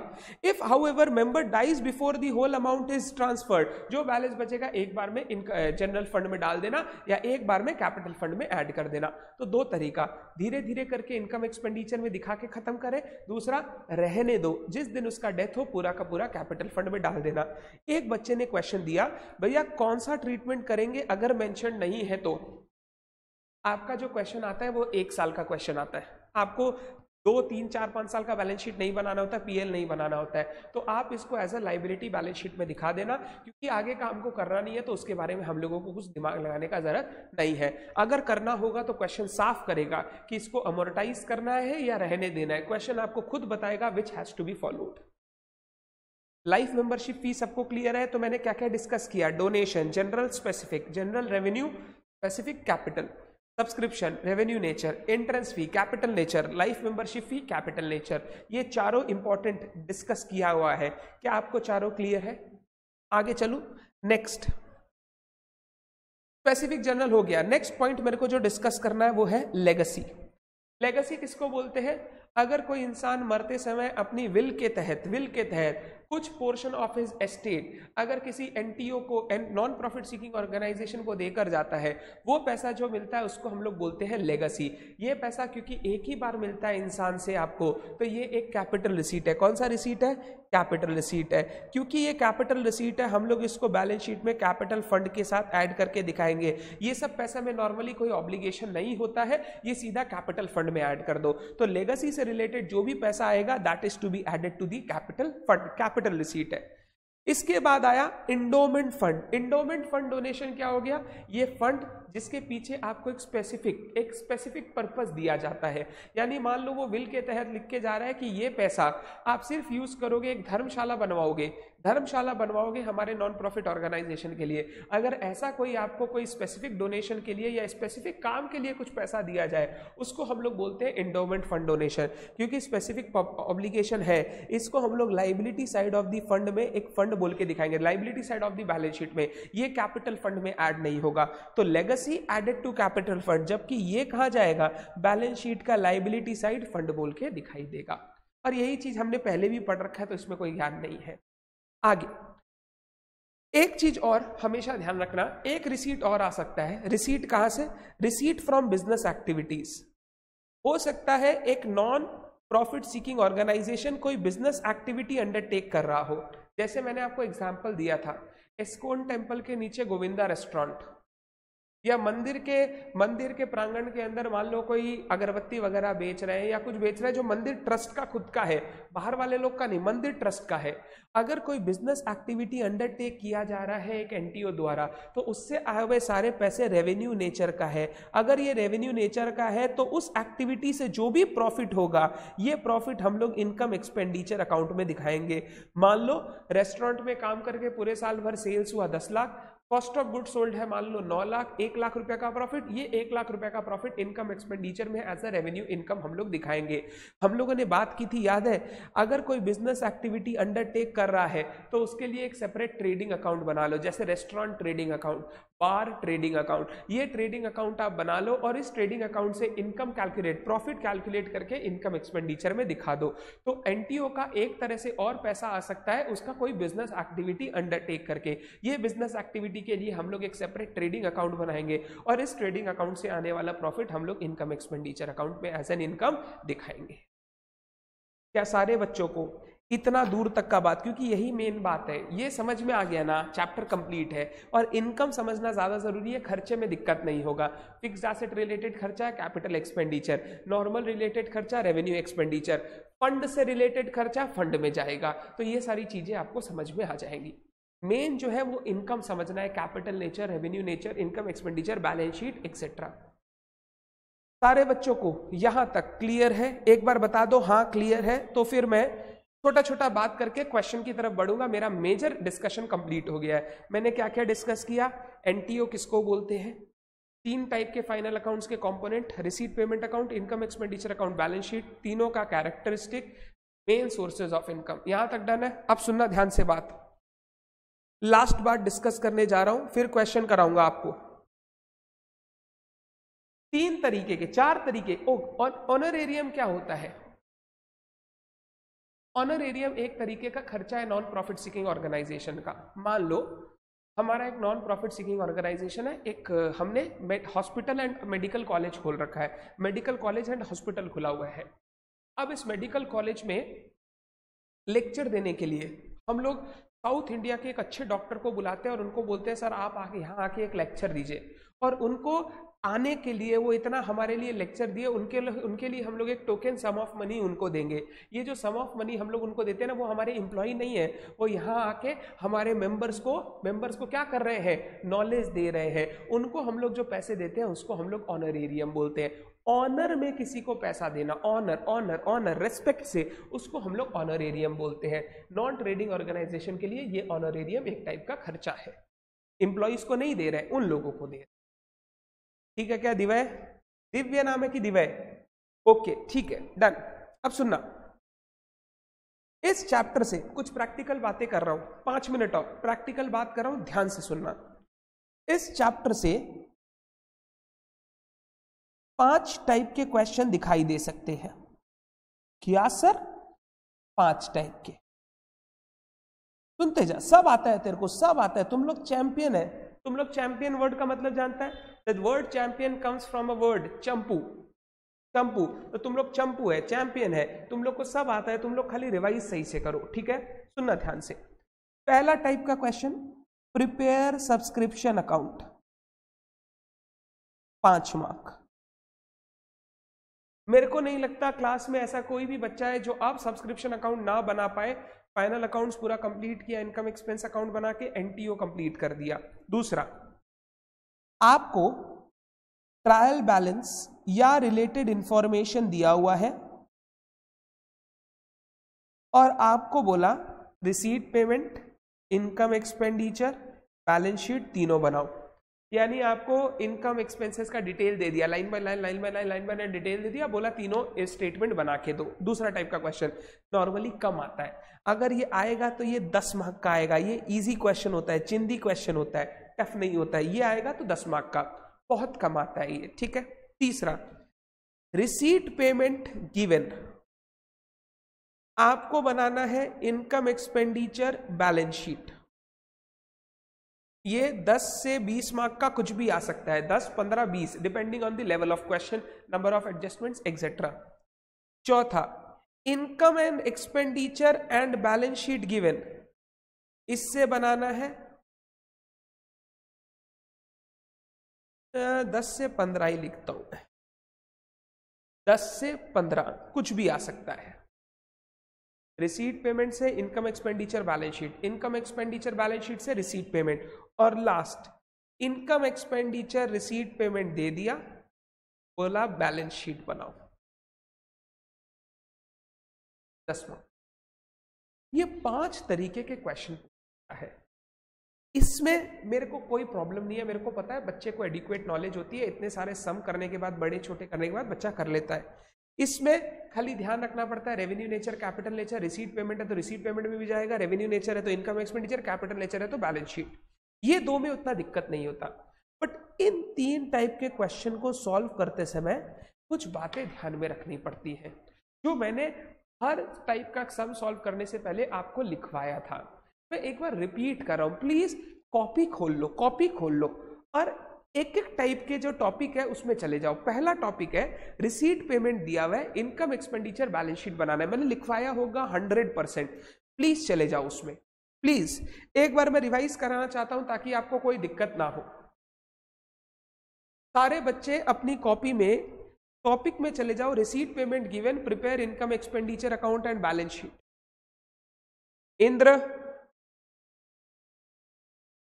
अब यहाँ पे मैंने आपके साथ क्या डिस्कस किया था? सुनना ध्यान से। मैंने आपको बोला था क्वेश्चन में आपको दिया रहेगा रिसीट पेमेंट और कुछ एडिशनल इंफॉर्मेशन एडजस्टमेंट दिया हुआ रहेगा या एसेट लाइबिलिटीज की वैल्यू दी हुई रहेंगी, ठीक है? इससे आपको इनकम एक्सपेंडिचर बैलेंस शीट बनाना है। सबसे पहला काम क्वेश्चन पढ़ते समय, हमेशा पहले एडजस्टमेंट वाला पोर्शन पढ़ो। उनमें जो जो आइटम रिसीट पेमेंट से रिलेटेड है, उनको टिक करते जाओ। पहला काम। ठीक है? इससे क्या होगा? जब आप रिसीट पेमेंट यूज़ करके बनाओगे इनकम एक्सपेंडिचर बैलेंस शीट जिन आइटम में भी डॉट्स होगा पॉइंट्स होगा, उन आइटम को आप अच्छे से पूरा पढ़ के एडजस्टमेंट करके आप finally income expenditure balance sheet में डालोगे। दूसरा, ये पहला क्वेश्चन पढ़ने का तरीका। नीचे वाला पार्ट पढ़ा, फिर ऊपर वाले से कनेक्ट करके हमने लिख दिया कौन सा से क्या पॉइंट रिलेटेड है। अब क्वेश्चन बनाने का तरीका क्या रहेगा? आप इनकम एक्सपेंडिचर का फॉर्मेट बना लेंगे बैलेंस शीट का फॉर्मेट बना लेंगे। हो सकता है आपको ओपनिंग बैलेंस शीट बनानी पड़ जाए। क्यों बनानी पड़ जाए? आपको ओपनिंग कैपिटल का फिगर नहीं देगा, जिसके कारण बैलेंस शीट नहीं बन पाएगा क्लोजिंग वाला। तो ओपनिंग कैपिटल कैलकुलेट करने के लिए आप लोगों को ओपनिंग बैलेंस शीट बनानी पड़ सकती है। ये तीनों चीज़ आप ड्रॉ कर ले। रिसीट पेमेंट अकाउंट का फ़र्स्ट रिसीट साइड से चालू करना है अब हम लोग को रिसीट साइड से। रिसीट साइड का पहला आइटम रहता है ओपनिंग कैश बैलेंस ये ओपनिंग कैश बैलेंस बताना बताना. ओपनिंग कैश बैलेंस सारे बच्चे बताना ओपनिंग कैश बैलेंस कहाँ चला जाएगा? ओपनिंग कैश या बैंक बैलेंस रिसीट पेमेंट से उठ के कहा जाएगा? तीन चीज़ें income expenditure closing balance sheet opening balance sheet सबका आंसर सही है. ओपनिंग बैलेंस शीट डन इसके बाद ओपनिंग कैश हो गया. फिर आपको क्या दिखेगा? रिसीट साइड में रिसीट्स दिखेंगे. रिसीट्स का एग्ज़ाम्पल दे रहा हूँ। सब्सक्रिप्शन दिख सकता है। इंट्रेंस फ़ी दिख सकता है। लाइफ मेंबरशिप फ़ीस ही दिख सकता है। डोनेशन दिख सकता है। सेल ऑफ़ फिक्स्ड एसेट दिख सकता है। तो आपको रिसीट को दो पार्ट में बांटना है।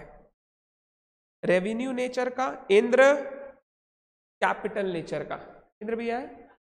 ओके रेवेन्यू नेचर का कैपिटल नेचर का रिसीट रेवेन्यू नेचर का जो रिसीट है रेवेन्यू नेचर का जो रिसीट है, वो कहाँ चला जाएगा?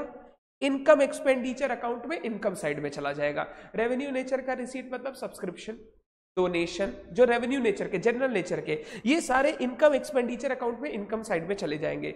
इनको इनकम साइड में दिखाते समय याद रखना, अगर अक्रूवल बेसिस से रिलेटेड कुछ एडजस्टमेंट है, जैसे अक्रूड प्री रिसीव्ड एक्सेट्रा वो सारे एडजस्टमेंट करने के बाद इनकम एक्सपेंडिचर में लेके जाना। सब्सक्रिप्शन दिया हुआ है बीस हज़ार, नीचे दिया हुआ है अक्रूड सब्सक्रिप्शन पाँच हज़ार ऐड कर देंगे। प्री रिसीव्ड दो हज़ार लेस कर देंगे। वो वाला काम करने के बाद लेके जाना, ठीक है? कैपिटल नेचर वाला कहाँ चला जाएगा? बैलेंस शीट में। जैसे इंट्रेंस फ़ी कैपिटल फंड से ऐड कर देना। लाइफ मेंबरशिप फ़ी लाइबिलिटी बोल के दिखा देना। स्पेशल डोनेशन अगर कोई मिला है फंड बोल के देना, दिखा देना। एसेट सेल हुआ है तो फिक्स्ड एसेट से लेस कर देना। ये सारा काम हम लोगों को करना है। ये मेरा रिसीट साइड कंप्लीट हो जाएगा। फिर हम लोग आएँगे पेमेंट साइड में। पेमेंट्स दो टाइप का पेमेंट्स रेवेन्यू नेचर का कैपिटल नेचर का। रेवेन्यू नेचर का कैपिटल नेचर का। वेरी गुड आप लोग बिल्कुल सही आंसर दे रहे हैं। रेवेन्यू नेचर का कैपिटल नेचर का। रेवेन्यू नेचर का पेमेंट कहाँ जाएगा बताओ? Income expenditure but income expenditure में दिखाते समय कौन सा बेसिस अक्रूवल बेसिस यानी अगर सैलरी दिया हुआ है और नीचे कुछ आउटस्टैंडिंग सैलरी प्रीपेड सैलरी वगैरह दिया हुआ है तो उसको सही से आपको एडजस्ट करने के बाद इनकम एक्सपेंडिचर में लेके जाना है। कैपिटल नेचर का एक्सपेंडिचर कहाँ चला जाएगा? बैलेंस शीट में इन्वेस्टमेंट खरीदा balance sheet asset side fix asset खरीदा बैलेंस शीट एसेट साइड वहाँ पे एसेट साइड में जाके प्लेस कर देना। बात, अगर प्राइस फंड से रिलेटेड कोई प्राइस दिया तो वो प्राइस फंड से लेस कर देना, उसको एसेट साइड में मत दिखाना प्राइस फंड से लेस कर देना। ये हो गया। लास्ट आपको दिखेगा क्लोजिंग कैश बैलेंस ये क्लोजिंग कैश बैलेंस कहाँ जाएगा बताओ? सर क्लोजिंग बैलेंस शीट में चला जाएगा। तो जब भी आप इस टाइप के सम बनाओगे, आपको इन चीज़ों को दिमाग में रखना होगा। और मेरे हिसाब से मैंने कॉपी में बहुत अच्छी तरीके से आपको ये वाला चीज़ लिखवा के रखा होगा। और कोई भी बच्चे को इस चीज़ में दिक्कत नहीं आना चाहिए। बहुत स्लो एंड स्टडी चल रहा है रे। मैंने बोला ना, तीन घंटा कभी लगता ही नहीं है, सवा दो घंटा, ढाई घंटे में पेपर कंप्लीट हो जाता है। इन सब चीज़ों में टाइम देना एग्ज़ाम में ताकि सिली मिस्टेक ना हो। बच्चा बोलता है, सर बैलेंस शीट टैली नहीं करता। करेगा। स्लो एंड स्टडी एक एक आइटम को लेके चल। सही से प्लेस कर, सब टैली करेगा। जो अक्रूवल का तुम एडजस्टमेंट करते हो outstanding prepaid accrued pre receive उनको बैलेंस शीट में सही देगा दिखाना। ओपनिंग है तो ओपनिंग बैलेंस शीट क्लोजिंग है तो क्लोजिंग बैलेंस शीट ये याद रखना पड़ेगा और यहीं पे तुम मार खाओगे। है क्या बात? तो ये हमने सीखा, अगर हम लोगों को बनाना है, बताओ। क्या? रिसीट पेमेंट से इनकम एक्सपेंडिचर अब बच्चा सही बोल रहा है। क्या? सरप्लस टाइम मैथ्स में लेंगे? क्या बोल रहा है? सीपीटी का बच्चा थोड़ी है सरप्लस टाइम मैथ्स में लेंगे क्या मैथ्स एग्ज़ाम मैं तीन घंटे की बात कर रहा हूँ। तीन घंटे में मैथ्स एग्ज़ाम कहाँ होता है तुम्हारा? क्या तुम लोग क्या खा पी के आ गया रे वो सरप्लस कैरी फॉरवर्ड नहीं होता है। मैथ्स का तीन घंटा अलग अकाउंट्स का मैथ्स का दो घंटा सीए फाउंडेशन तुम लोग का बात समझ में नहीं आया मेरे को, अनिकेत। आगे चलता हूँ। Income expenditure and balance sheet से रिसीट पेमेंट बनाना। अब मैं बोल रहा हूँ, लिखूँगा नहीं, सुनते जाना। ये मैं लिखा हुआ मिटा देता हूँ, एक काम करता हूँ, ताकि वो लिख सकूँ।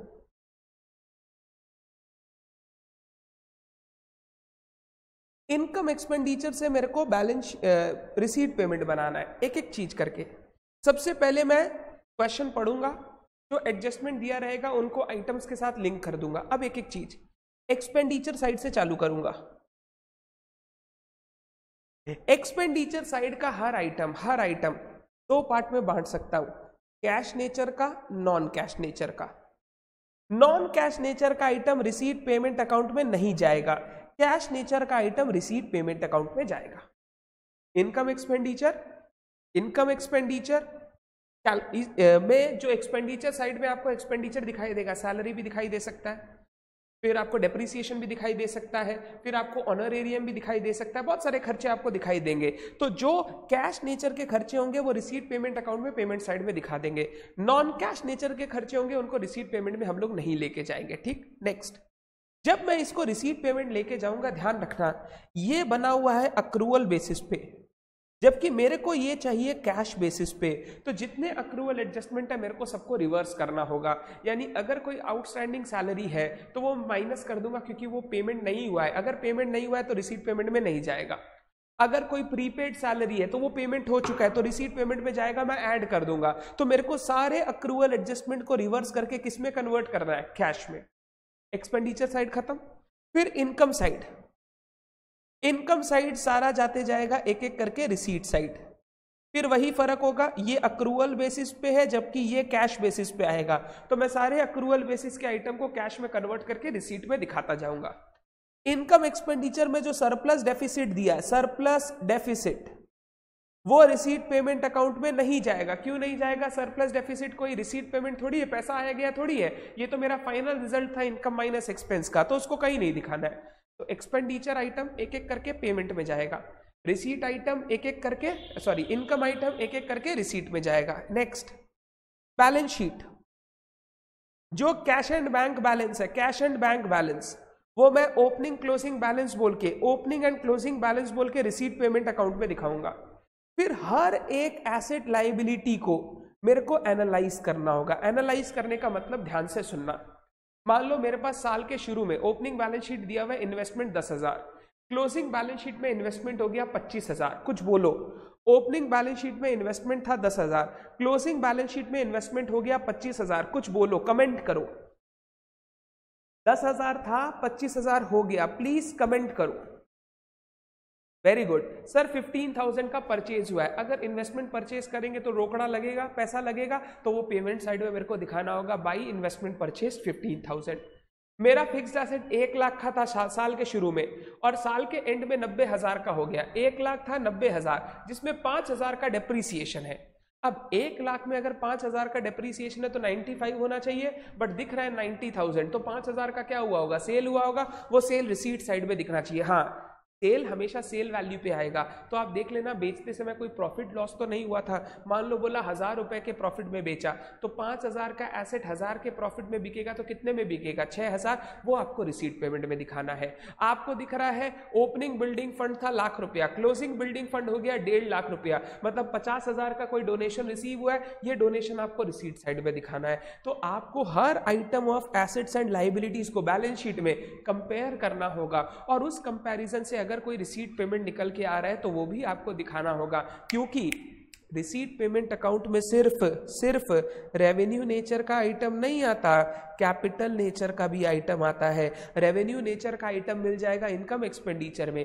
कैपिटल नेचर का आइटम मिलेगा बैलेंस शीट से और दोनों जाके आपका बनेगा रिसीट एंड पेमेंट अकाउंट ये बच्चों को ज़्यादा सिंपल लगता है। ये बच्चों को थोड़ा सा टफ लगता है, क्योंकि यहाँ पे बैलेंस शीट को भी एनालाइज करना है इनकम एक्सपेंडिचर को भी एनालाइज करना है। पहले बताइए, क्या ये बात क्लियर है? पहले बताइए, क्या ये बात क्लियर है? Hundred percent done last income expenditure receipt payment दिया हुआ है बैलेंस शीट बनाना मज़ेदार होता है ये, मज़ेदार। मेरा फेवरेट करना क्या है? बिल्कुल सिंपल रिसीट पेमेंट का ओपनिंग क्लोजिंग जो कैश है, वो opening balance sheet closing balance sheet में कैश बैठा देना, अब ध्यान से।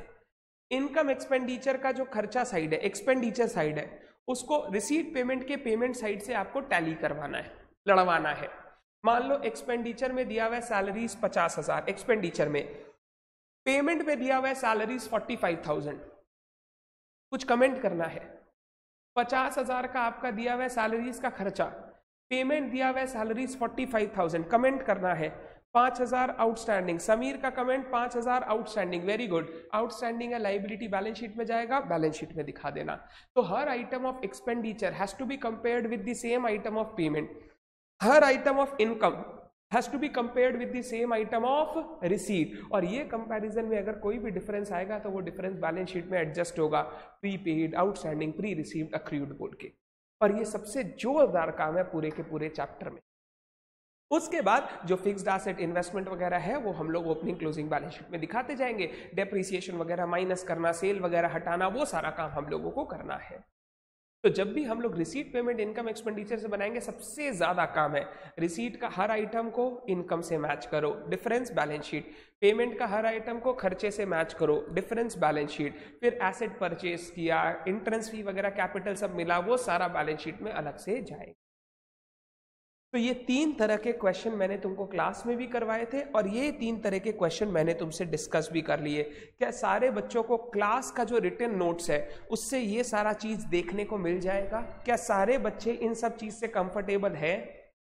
ये मेरा मेन पार्ट ऑफ़ डिस्कशन था। यही डिस्कशन से क्वेश्चन बनेगा। इससे पहले जो भी डिस्कशन किया, वो चैप्टर का कोर था बट उससे क्वेश्चन नहीं बनेगा। क्वेश्चन बनाने के लिए ये नॉलेज ज़रूरी है।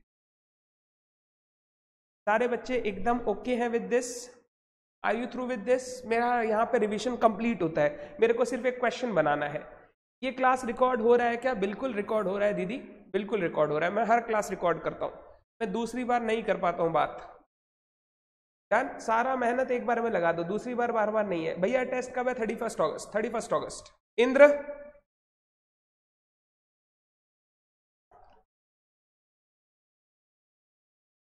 Done चलिए, अब मैं आपको एक क्वेश्चन देता हूँ छोटा सा क्वेश्चन है। सारे बच्चे स्क्रीन पे उस क्वेश्चन को पढ़ेंगे और उस क्वेश्चन को हम लोग सॉल्व करेंगे एज अ रिवीजन सॉरी ये यहाँ से हो जाएगा। आप लोग अपनी कॉपी निकाल लें। ये क्वेश्चन है आर टी पी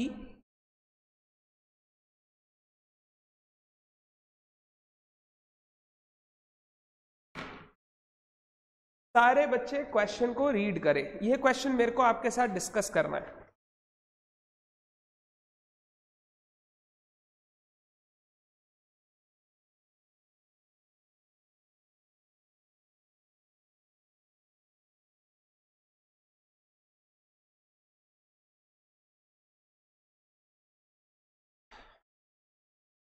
थोड़ा सा अलग टाइप का है। आपको लगेगा जैसे किसी का पर्सनल अकाउंट बनाना है तो भी वो एनटीओ में क्वेश्चन दे दिया।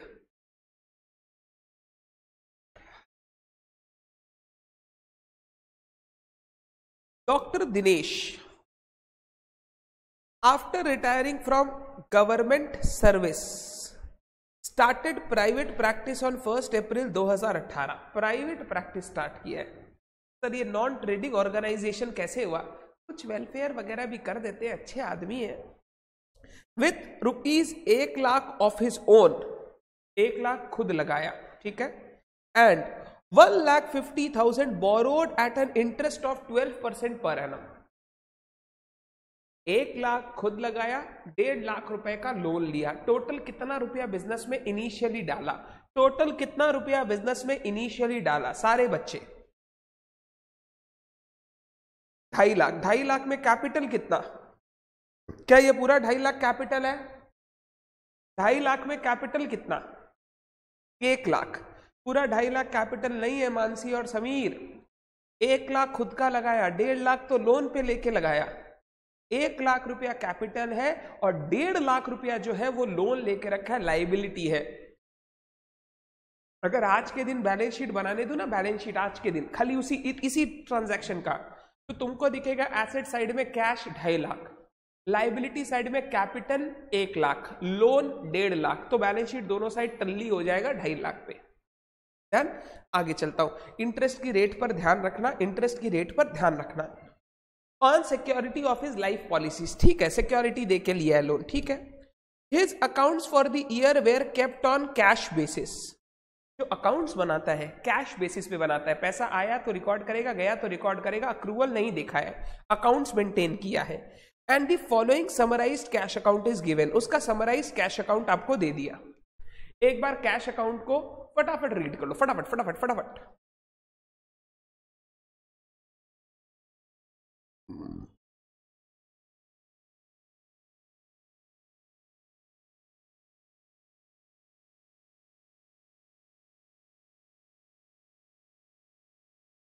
ओन कैपिटल एक लाख लोन डेढ़ लाख। लोन के ऊपर एक डॉट कर रहा हूँ। बताना क्यों?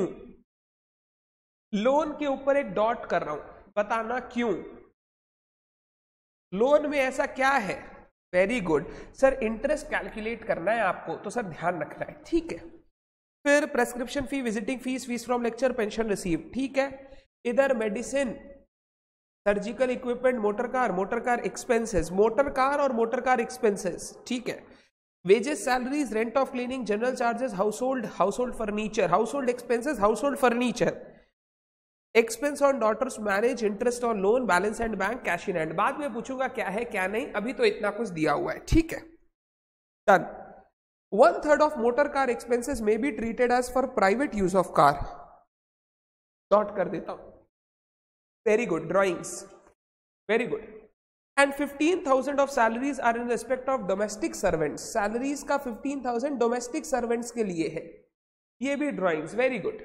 Very good. आगे चलते हैं The stock of medicine hand on 31st March 2019 were valued at 47,500. 31st March 2019 start किया 1 अप्रैल 18 को इस साल के शुरू में और एंड में मेडिसिन कुछ बचा हुआ है। इस साल मेडिसिन कुछ खरीदा था क्या?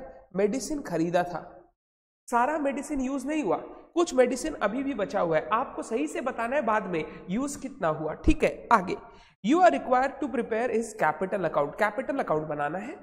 इनकम एक्सपेंडिचर अकाउंट बनाना है थर्टी फ़र्स्ट मार्च नाइनटीन का और एक बैलेंस शीट बनाना है as on that date ignore depreciation on fix asset ये एनटीओ से ज़्यादा एक फाइनल अकाउंट्स का क्वेश्चन नहीं लग रहा है। प्लीज़ कमेंट करो। एनटीओ से ज़्यादा एक नॉर्मल फाइनल अकाउंट्स का क्वेश्चन नहीं लग रहा है। एकदम सिंपल टाइप का क्वेश्चन बोला है कैपिटल बनाओ कैपिटल अकाउंट पीएल बनाओ बैलेंस शीट कैपिटल अकाउंट हम लोग नहीं बनाते थे, हम लोग बैलेंस शीट में ही दिखा देते थे opening plus capital introduction minus drawings वगैरह। अब बोल रहा है अकाउंट बना दो, बना देंगे। तो हम लोगों को इतना सा काम करने बोला है। तो लिटरली ये कोई इनकम एक्सपेंडिचर का क्वेश्चन मतलब एनटीओ का है ही नहीं। ये तो एक नॉर्मल फाइनल अकाउंट बनाने का क्वेश्चन है। मैंने तो बोला था ना फाइनल अकाउंट ही बनाना है। नाम चेंज हो गया बस। चलिए, सारे बच्चे, मेरे साथ। सारे बच्चे, मेरे साथ। बनाएँगे एक एक करके। एक हो गया income and expenditure account for the year ended thirty first March nineteen please मेरी कॉपी देखने की ज़रूरत नहीं है। सारे बच्चे मेरे साथ बनाएँगे, बैठ के कॉपी को ताकने की ज़रूरत नहीं है। और अगर किसी को लगता है, यार, बाद में ही बना लेंगे, अभी क्या काम है? तो बाद में भी तो इतना ही टाइम लगेगा यार, अभी मेरे साथ रह लो कुछ देर। Income expenditure account particulars amount particulars amount या एक्सपेंडिचर अमाउंट इनकम अमाउंट ठीक है? इसके बाद, मेरे को बनाना है एक क्लोजिंग बैलेंस शीट डेट क्या है बैलेंस शीट का? Thirty first March nineteen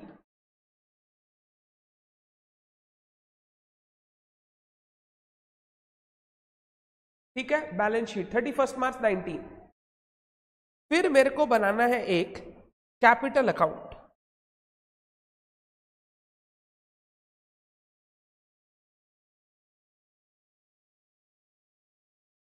sorry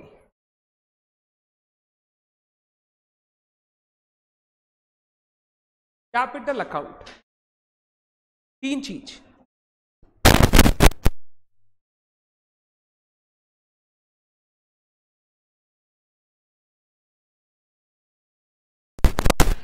done start करें.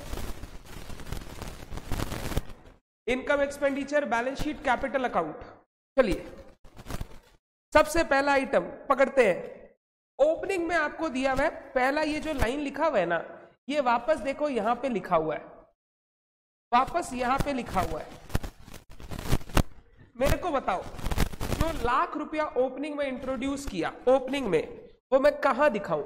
कहाँ दिखाऊँ? आप जहाँ बोलेंगे ये क्या कोई इनकम एक्सपेंडिचर है? या फिर कोई कैपिटल का आया हुआ पैसा है? कैपिटल का पैसा कहाँ दिखाओ सारे बच्चे। बैलेंस शीट में दिखाइए सर बैलेंस शीट में। मुकेश बोल रहा मुकेश सॉरी मतलब रितिका बोल रही है कैपिटल में। देखो, उदय, अनिकेत, अनंत, सिद्धि मानसी, जब कैपिटल अकाउंट आपको बनाना है तो बैलेंस शीट में डायरेक्टली ओपनिंग कैपिटल क्यों लिख रहे हो? वहाँ पे हम लोग सीधा क्लोजिंग कैपिटल दिखा देंगे। तो जब मेरे को कैपिटल अकाउंट ऑलरेडी बनाने बोला है, मैं इसको यहाँ दिखाऊँगा। बाय कैश अकाउंट एक लाख रुपया इंट्रोड्यूस किया कैपिटल में। बैलेंस शीट में मत दिखाओ कैपिटल अकाउंट में दिखाओ। बाई कैश एक लाख। आगे चलू? नेक्स्ट लोन लोन डेढ़ लाख रुपया दिख रहा है, डेढ़ लाख रुपया। कहाँ दिखाऊँ लोन लोन कहाँ दिखाऊँ? बच्चा बोल रहा है capital account balance sheet balance sheet balance sheet अरे इंटरेस्ट नहीं लोन कहाँ दिखाऊँ पहले वो बता। बैलेंस शीट में, चलिए। लोन मैं बैलेंस शीट में दिखाता हूँ। लोन कितना रुपया लोन कितना रुपया? कितना रुपया लोन बैलेंस शीट में कितना लोन दिखाऊँ? ये रहा क्वेश्चन आपके सामने। डेढ़ लाख डेढ़ लाख डेढ़ लाख। एक बार पेमेंट साइड चेक कर लो पेमेंट साइड कोई रीपेमेंट तो नहीं हुआ है ना इस साल? हो सकता है साल भर में कुछ रीपेमेंट भी हो गया हो। ये चीज़ सिखाना चाहता हूँ तुमको। सर, कोई रीपेमेंट नहीं हुआ है पेमेंट साइड में नहीं लिखा।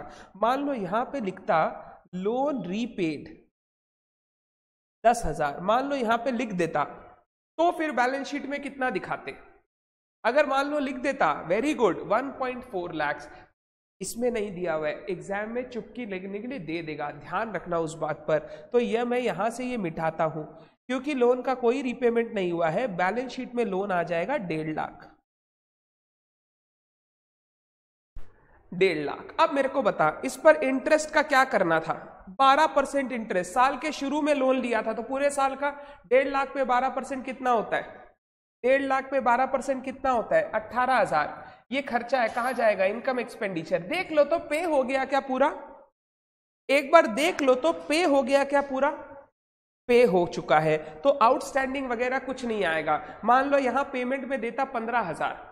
पेमेंट में पंद्रह हज़ार। तो तीन हज़ार का आउटस्टैंडिंग आता। वो भी ध्यान रखना है आपको। यही तो चीज़ है सीखने का कि आपको देख के समझना है उसका पूरा पे हुआ या नहीं। अठारह था, अठारह पे हो गया। ठीक है।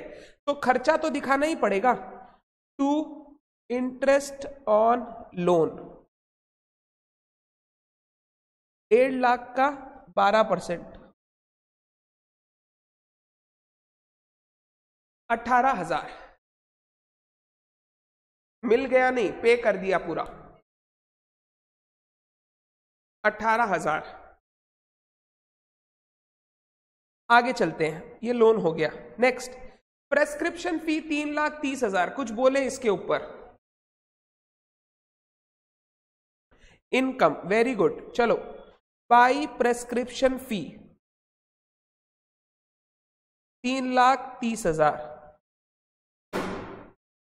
Next visiting fees fees from lecture पहले विजिटिंग फ़ीस पे आते हैं। विजिटिंग फ़ीस एक पच्चीस। विजिटिंग फ़ीस बोलिए। इनकम वेरी गुड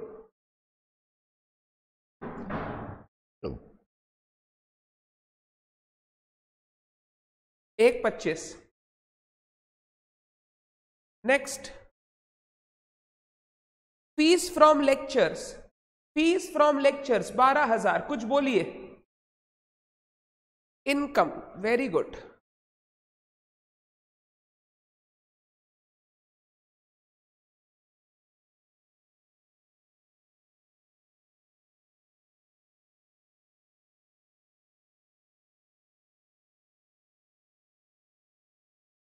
बच्चों कोई doubt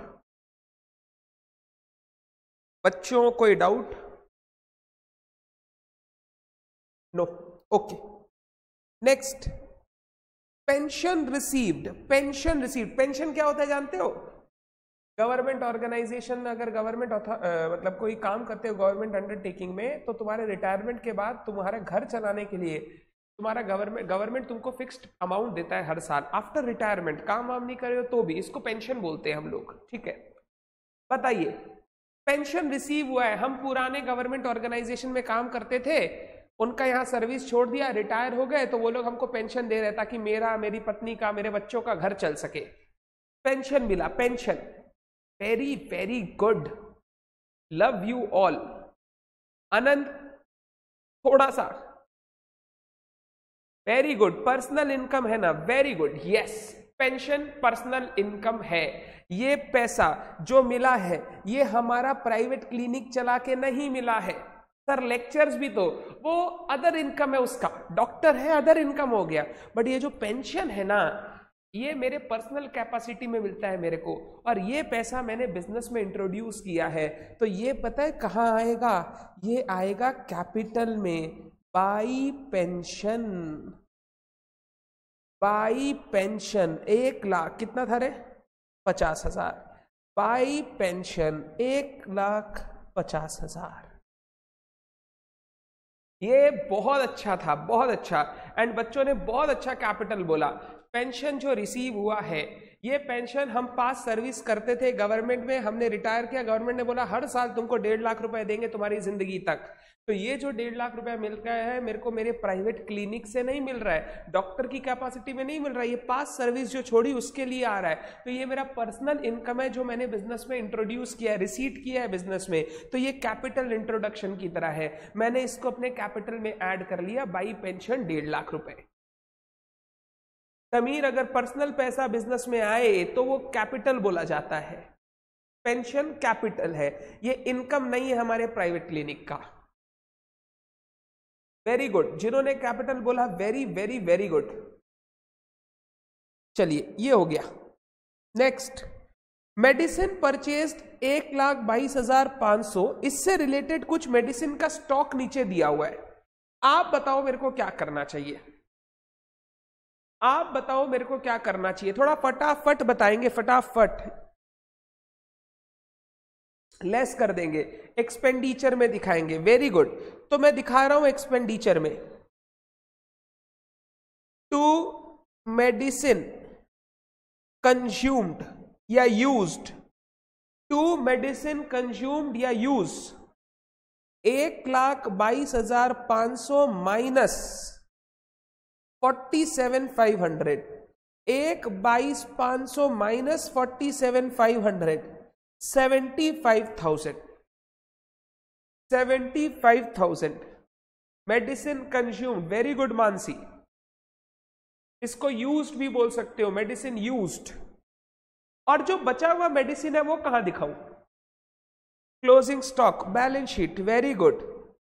Stock of medicine. Stock of medicine, forty seven five hundred. Forty seven five hundred मेरे हिसाब से सब बच्चे आप लोग बहुत तेज है क्लियर है आप लोगों को ये बातें। आप लोग फोड़ेंगे एग्ज़ाम में, आपको पता है। मतलब आई कैन सी जिस लेवल पे आपने घर बैठ के भी प्रिपरेशन किया है ना दैट इज़ कमेंडेबल मतलब बहुत अच्छा प्रिपरेशन आप एक एक नीट एंड क्लीन कॉन्सेप्ट्स रख के आप आंसर कर रहे हो, आप पेंशन को कैपिटल बोल रहे हो मेडिसिन कंज्यूम निकाल पा रहे हो। These things are very very very good and I salute you all अगर मैं आपकी जगह होता, शायद घर बैठ के मैं इतना अच्छा नहीं कर पाता। क्यों? मैं वो वैसा प्राणी नहीं हूँ जो घर बैठ के पढ़ सके, बाहर घूमने का इच्छा करता है। आप लोग भी शायद वैसे ही होंगे बट आप लोगों ने मन को तेज रख के बहुत अच्छी पढ़ाई की है। And thank you so much for this पढ़ाई करेंगे, हमेशा प्रेस करूँगा आपको, नहीं करेंगे, झाड़ दूँगा। एकदम सिंपल फंडा नहीं, आपने सच में पढ़ाई करके रखी है एंड ये देख के लगता है कि चलो, जो हम टाइम स्पेंड कर रहे हैं टाइम इन्वेस्ट कर रहे हैं, वो टाइम कोई अच्छी जगह पे लग रहा है। And this is creating a hell lot of assets for me आप मेरे लिए एसेट्स हो, आप आगे जाके बहुत अच्छा करने वाले हो। थैंक यू सो मच आगे चलता हूँ। ये हो गया मेरा, ये हो गया मेरा। फिर दिया हुआ सर्जिकल इक्विपमेंट्स कुछ बोलिए सर्जिकल इक्विपमेंट खरीदा। चीड़ फाड़ काटने का। एसेट्स वेरी गुड चलिए।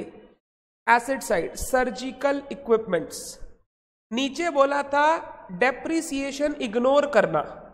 डेप्रीसिएशन इग्नोर करना, ठीक है? हम लोग तो इग्नोर करने में माहिर है।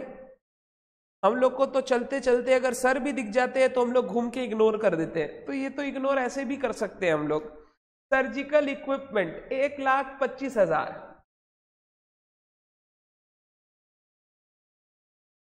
भाव नहीं मिलता। किसको? मेरे को? मेरे को जो भाव मिलता वो तुम क्या समझेगा रे? ट्रेंडिंग ट्रेंडिंग ओ, तेरे को, ठीक है, कोई बात नहीं। ये दुख होगा तेरे को। सीए बनने के बाद नहीं होगा, पक्का। मोटर कार एक लाख साठ हज़ार, कुछ बोलिए। मोटर कार एक लाख साठ हज़ार एसेट चलिए, आपने बोला तो एसेट बोल के दिखा देता हूँ।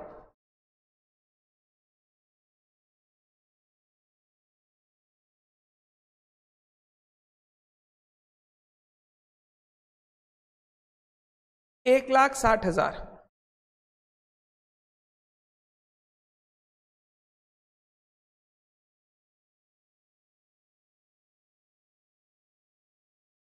नेक्स्ट मोटर कार एक्सपेंसेस साठ हज़ार। नीचे कुछ बोला है।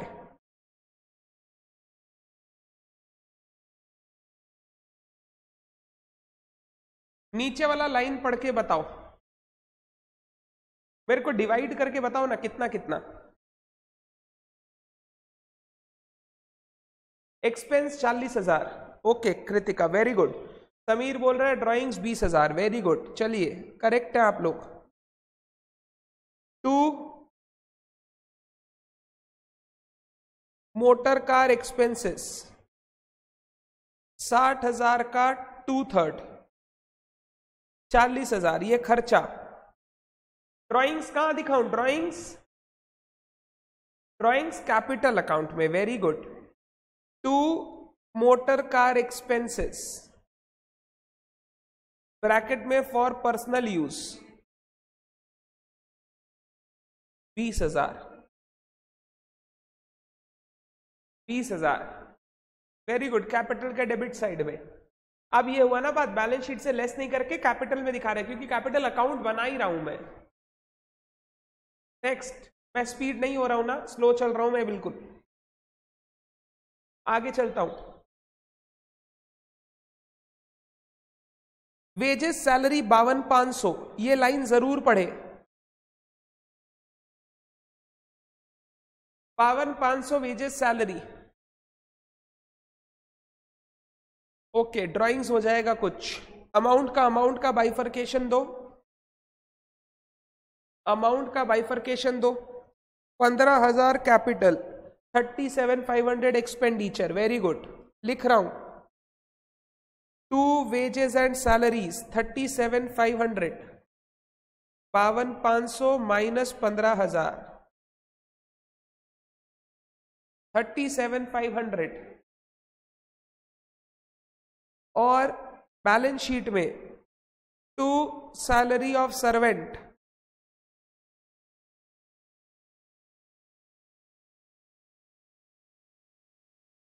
पंद्रह हज़ार।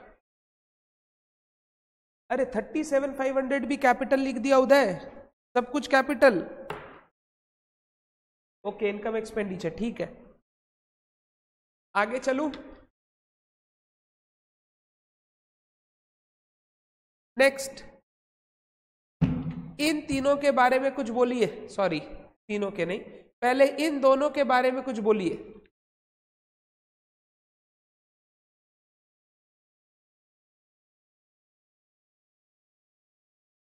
Income expenditure. रेंट तीस जनरल चार्जेस चौबीस पाँच सौ।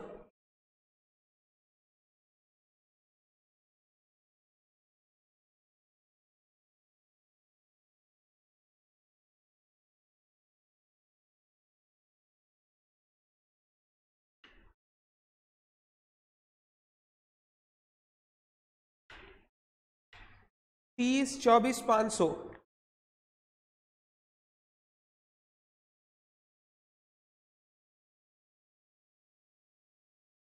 Next household expense household furniture household expense household furniture drawings drawings capital very good to household expense to household furniture कितना था रे? नब्बे हज़ार और बारह हज़ार पाँच सौ।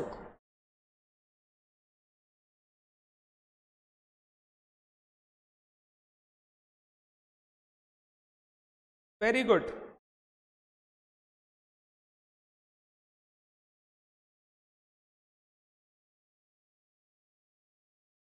आगे दौड़ू?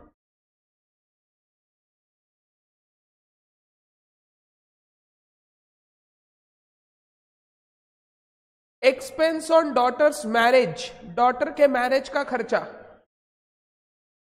डॉटर मैरिज का खर्चा वेरी गुड ड्रॉइंग्स एक लाख सात हज़ार पाँच सौ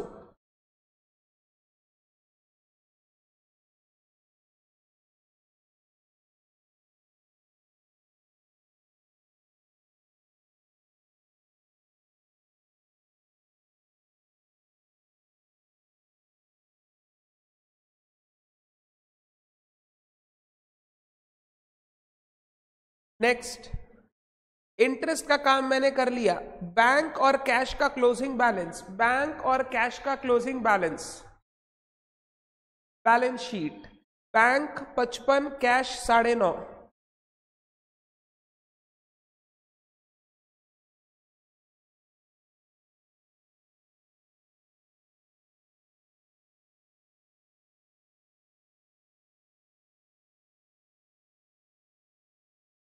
वेरी गुड, अक्षत।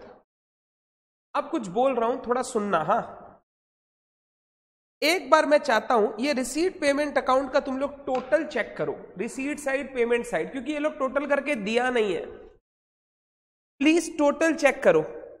कैलकुलेटर आप लोगों के पास है प्लीज़ मैं भी कैलकुलेट कर लेता हूँ। एक, दो, तीन, पाँच, एक छ एक, सात, आठ आठ, तीस, आठ, पचपन eight sixty seven if I am not wrong 867 receipt side आ रहा है। 867 प्लीज़ आप लोग भी करो ना हेल्प करो थोड़ा। एक, दो, तीन, चार। चार forty seven four forty seven five hundred forty seven और one twenty five sixty seven five hundred five sixty seven five seventy six twenty six fifty six fifty और सात चालीस सात चालीस और thirty seven seven seventy seven seven seventy seven seven eighty four, five hundred, seven eight zero two, five hundred, eight five seven, five hundred, eight sixty seven. ये भी eight sixty seven आ रहा है। दस हज़ार का डिफरेंस मेरा तो eight sixty seven आ रहा है रे। अरे वो दस हज़ार लोन हटाना है आपको। Eight sixty seven. मेरा तो नहीं आ रहा है। ओके, मानसी बोल रही है, आ गया, ठीक है। एट सिक्सटी सेवन मैच हो गया। सर, अगर मैच नहीं होता तो? क्या होता, सर? मैच नहीं होता तो क्या होता? कुछ ना कुछ डिफरेंस होता जिसके बारे में क्वेश्चन बोलता।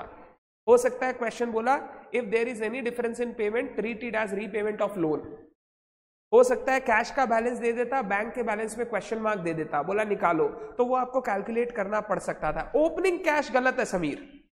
इस साल बिज़नेस स्टार्ट किए। ओपनिंग में तो यही है, यही कैपिटल और loan opening cap opening cash कुछ नहीं है। समीर, गलत है ये चीज़। इस साल बिज़नेस स्टार्ट किया है मैंने। तो ओपनिंग कैश तो कैपिटल और लोन डाल के ही आया था। डिफरेंस आता तो वो ज़रूर बोलता that may relate to repayment of loan that may relate to closing balance में एक छोड़ देता, एक दे देता. प्लीज़ कीप इन माइंड यही सब क्या होता है ना एग्ज़ाम में थोड़ा डिफरेंस आ जाता है। यहाँ प्लेन दे दिया, वहाँ पे थोड़ा टेढ़ा दे देगा। ठीक? डन मेरा क्वेश्चन कंप्लीट चलो इनकम एक्सपेंडिचर को तुतला लो. इनकम एक्सपेंडिचर को तुतला लो. तुतला लो मतलब टोटल कर लो. चार चार पचपन फोर सिक्सटी सेवन सरप्लस आएगा मेरे हिसाब से.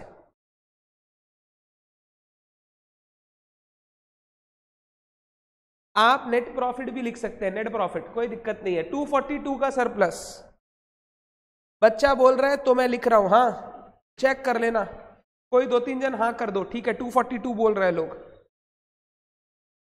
ये कहाँ चला जाएगा? ये कहाँ चला जाएगा? कैपिटल।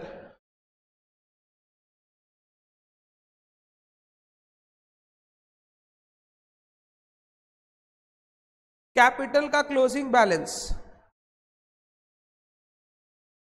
Closing capital calculate कर लो। दो, एक, तीन, चार फोर नाइन्टी टू एक, तीस, एक, पचास, दो, चालीस, दो, पचपन दो, पचपन। Two thirty seven two forty seven okay two forty seven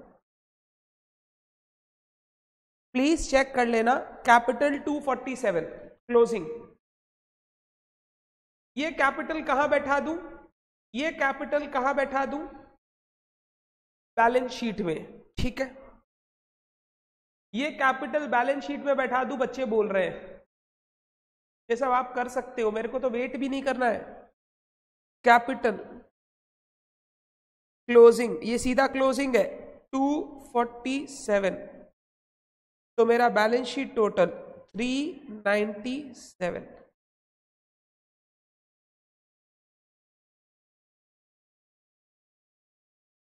check कर लो ना, आ रहा है क्या 397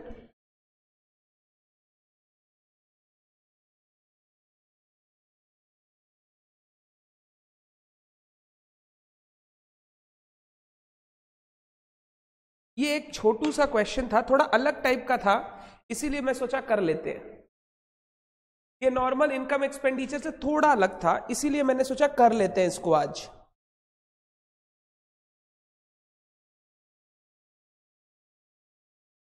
नहीं बनाने बोलता तो भी मैं बोलता आपको कैपिटल बनाना चाहिए, क्योंकि बहुत सारे ड्राइंग्स वगैरह के एडजस्टमेंट थे। या तो ड्राइंग का एक वर्किंग नोट बना के टोटल ड्राइंग फिर आप यहाँ पे कैपिटल में पेश कर देते। Opening capital add pension received less drawings drawings में सारा ड्राइंग्स का टोटल एड सरप्लस वैसे कर सकते थे।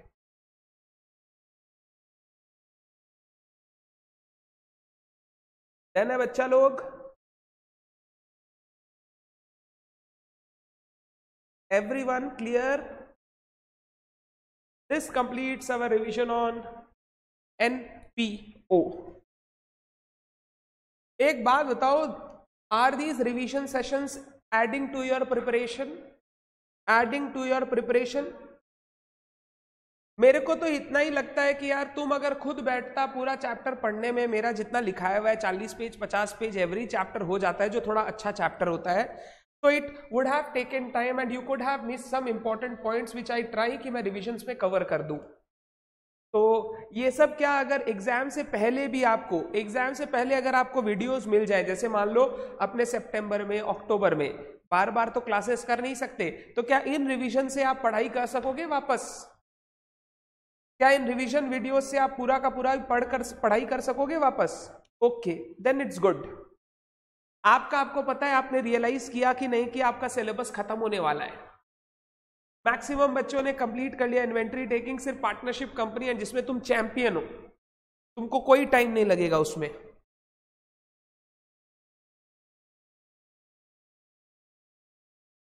डन है क्या?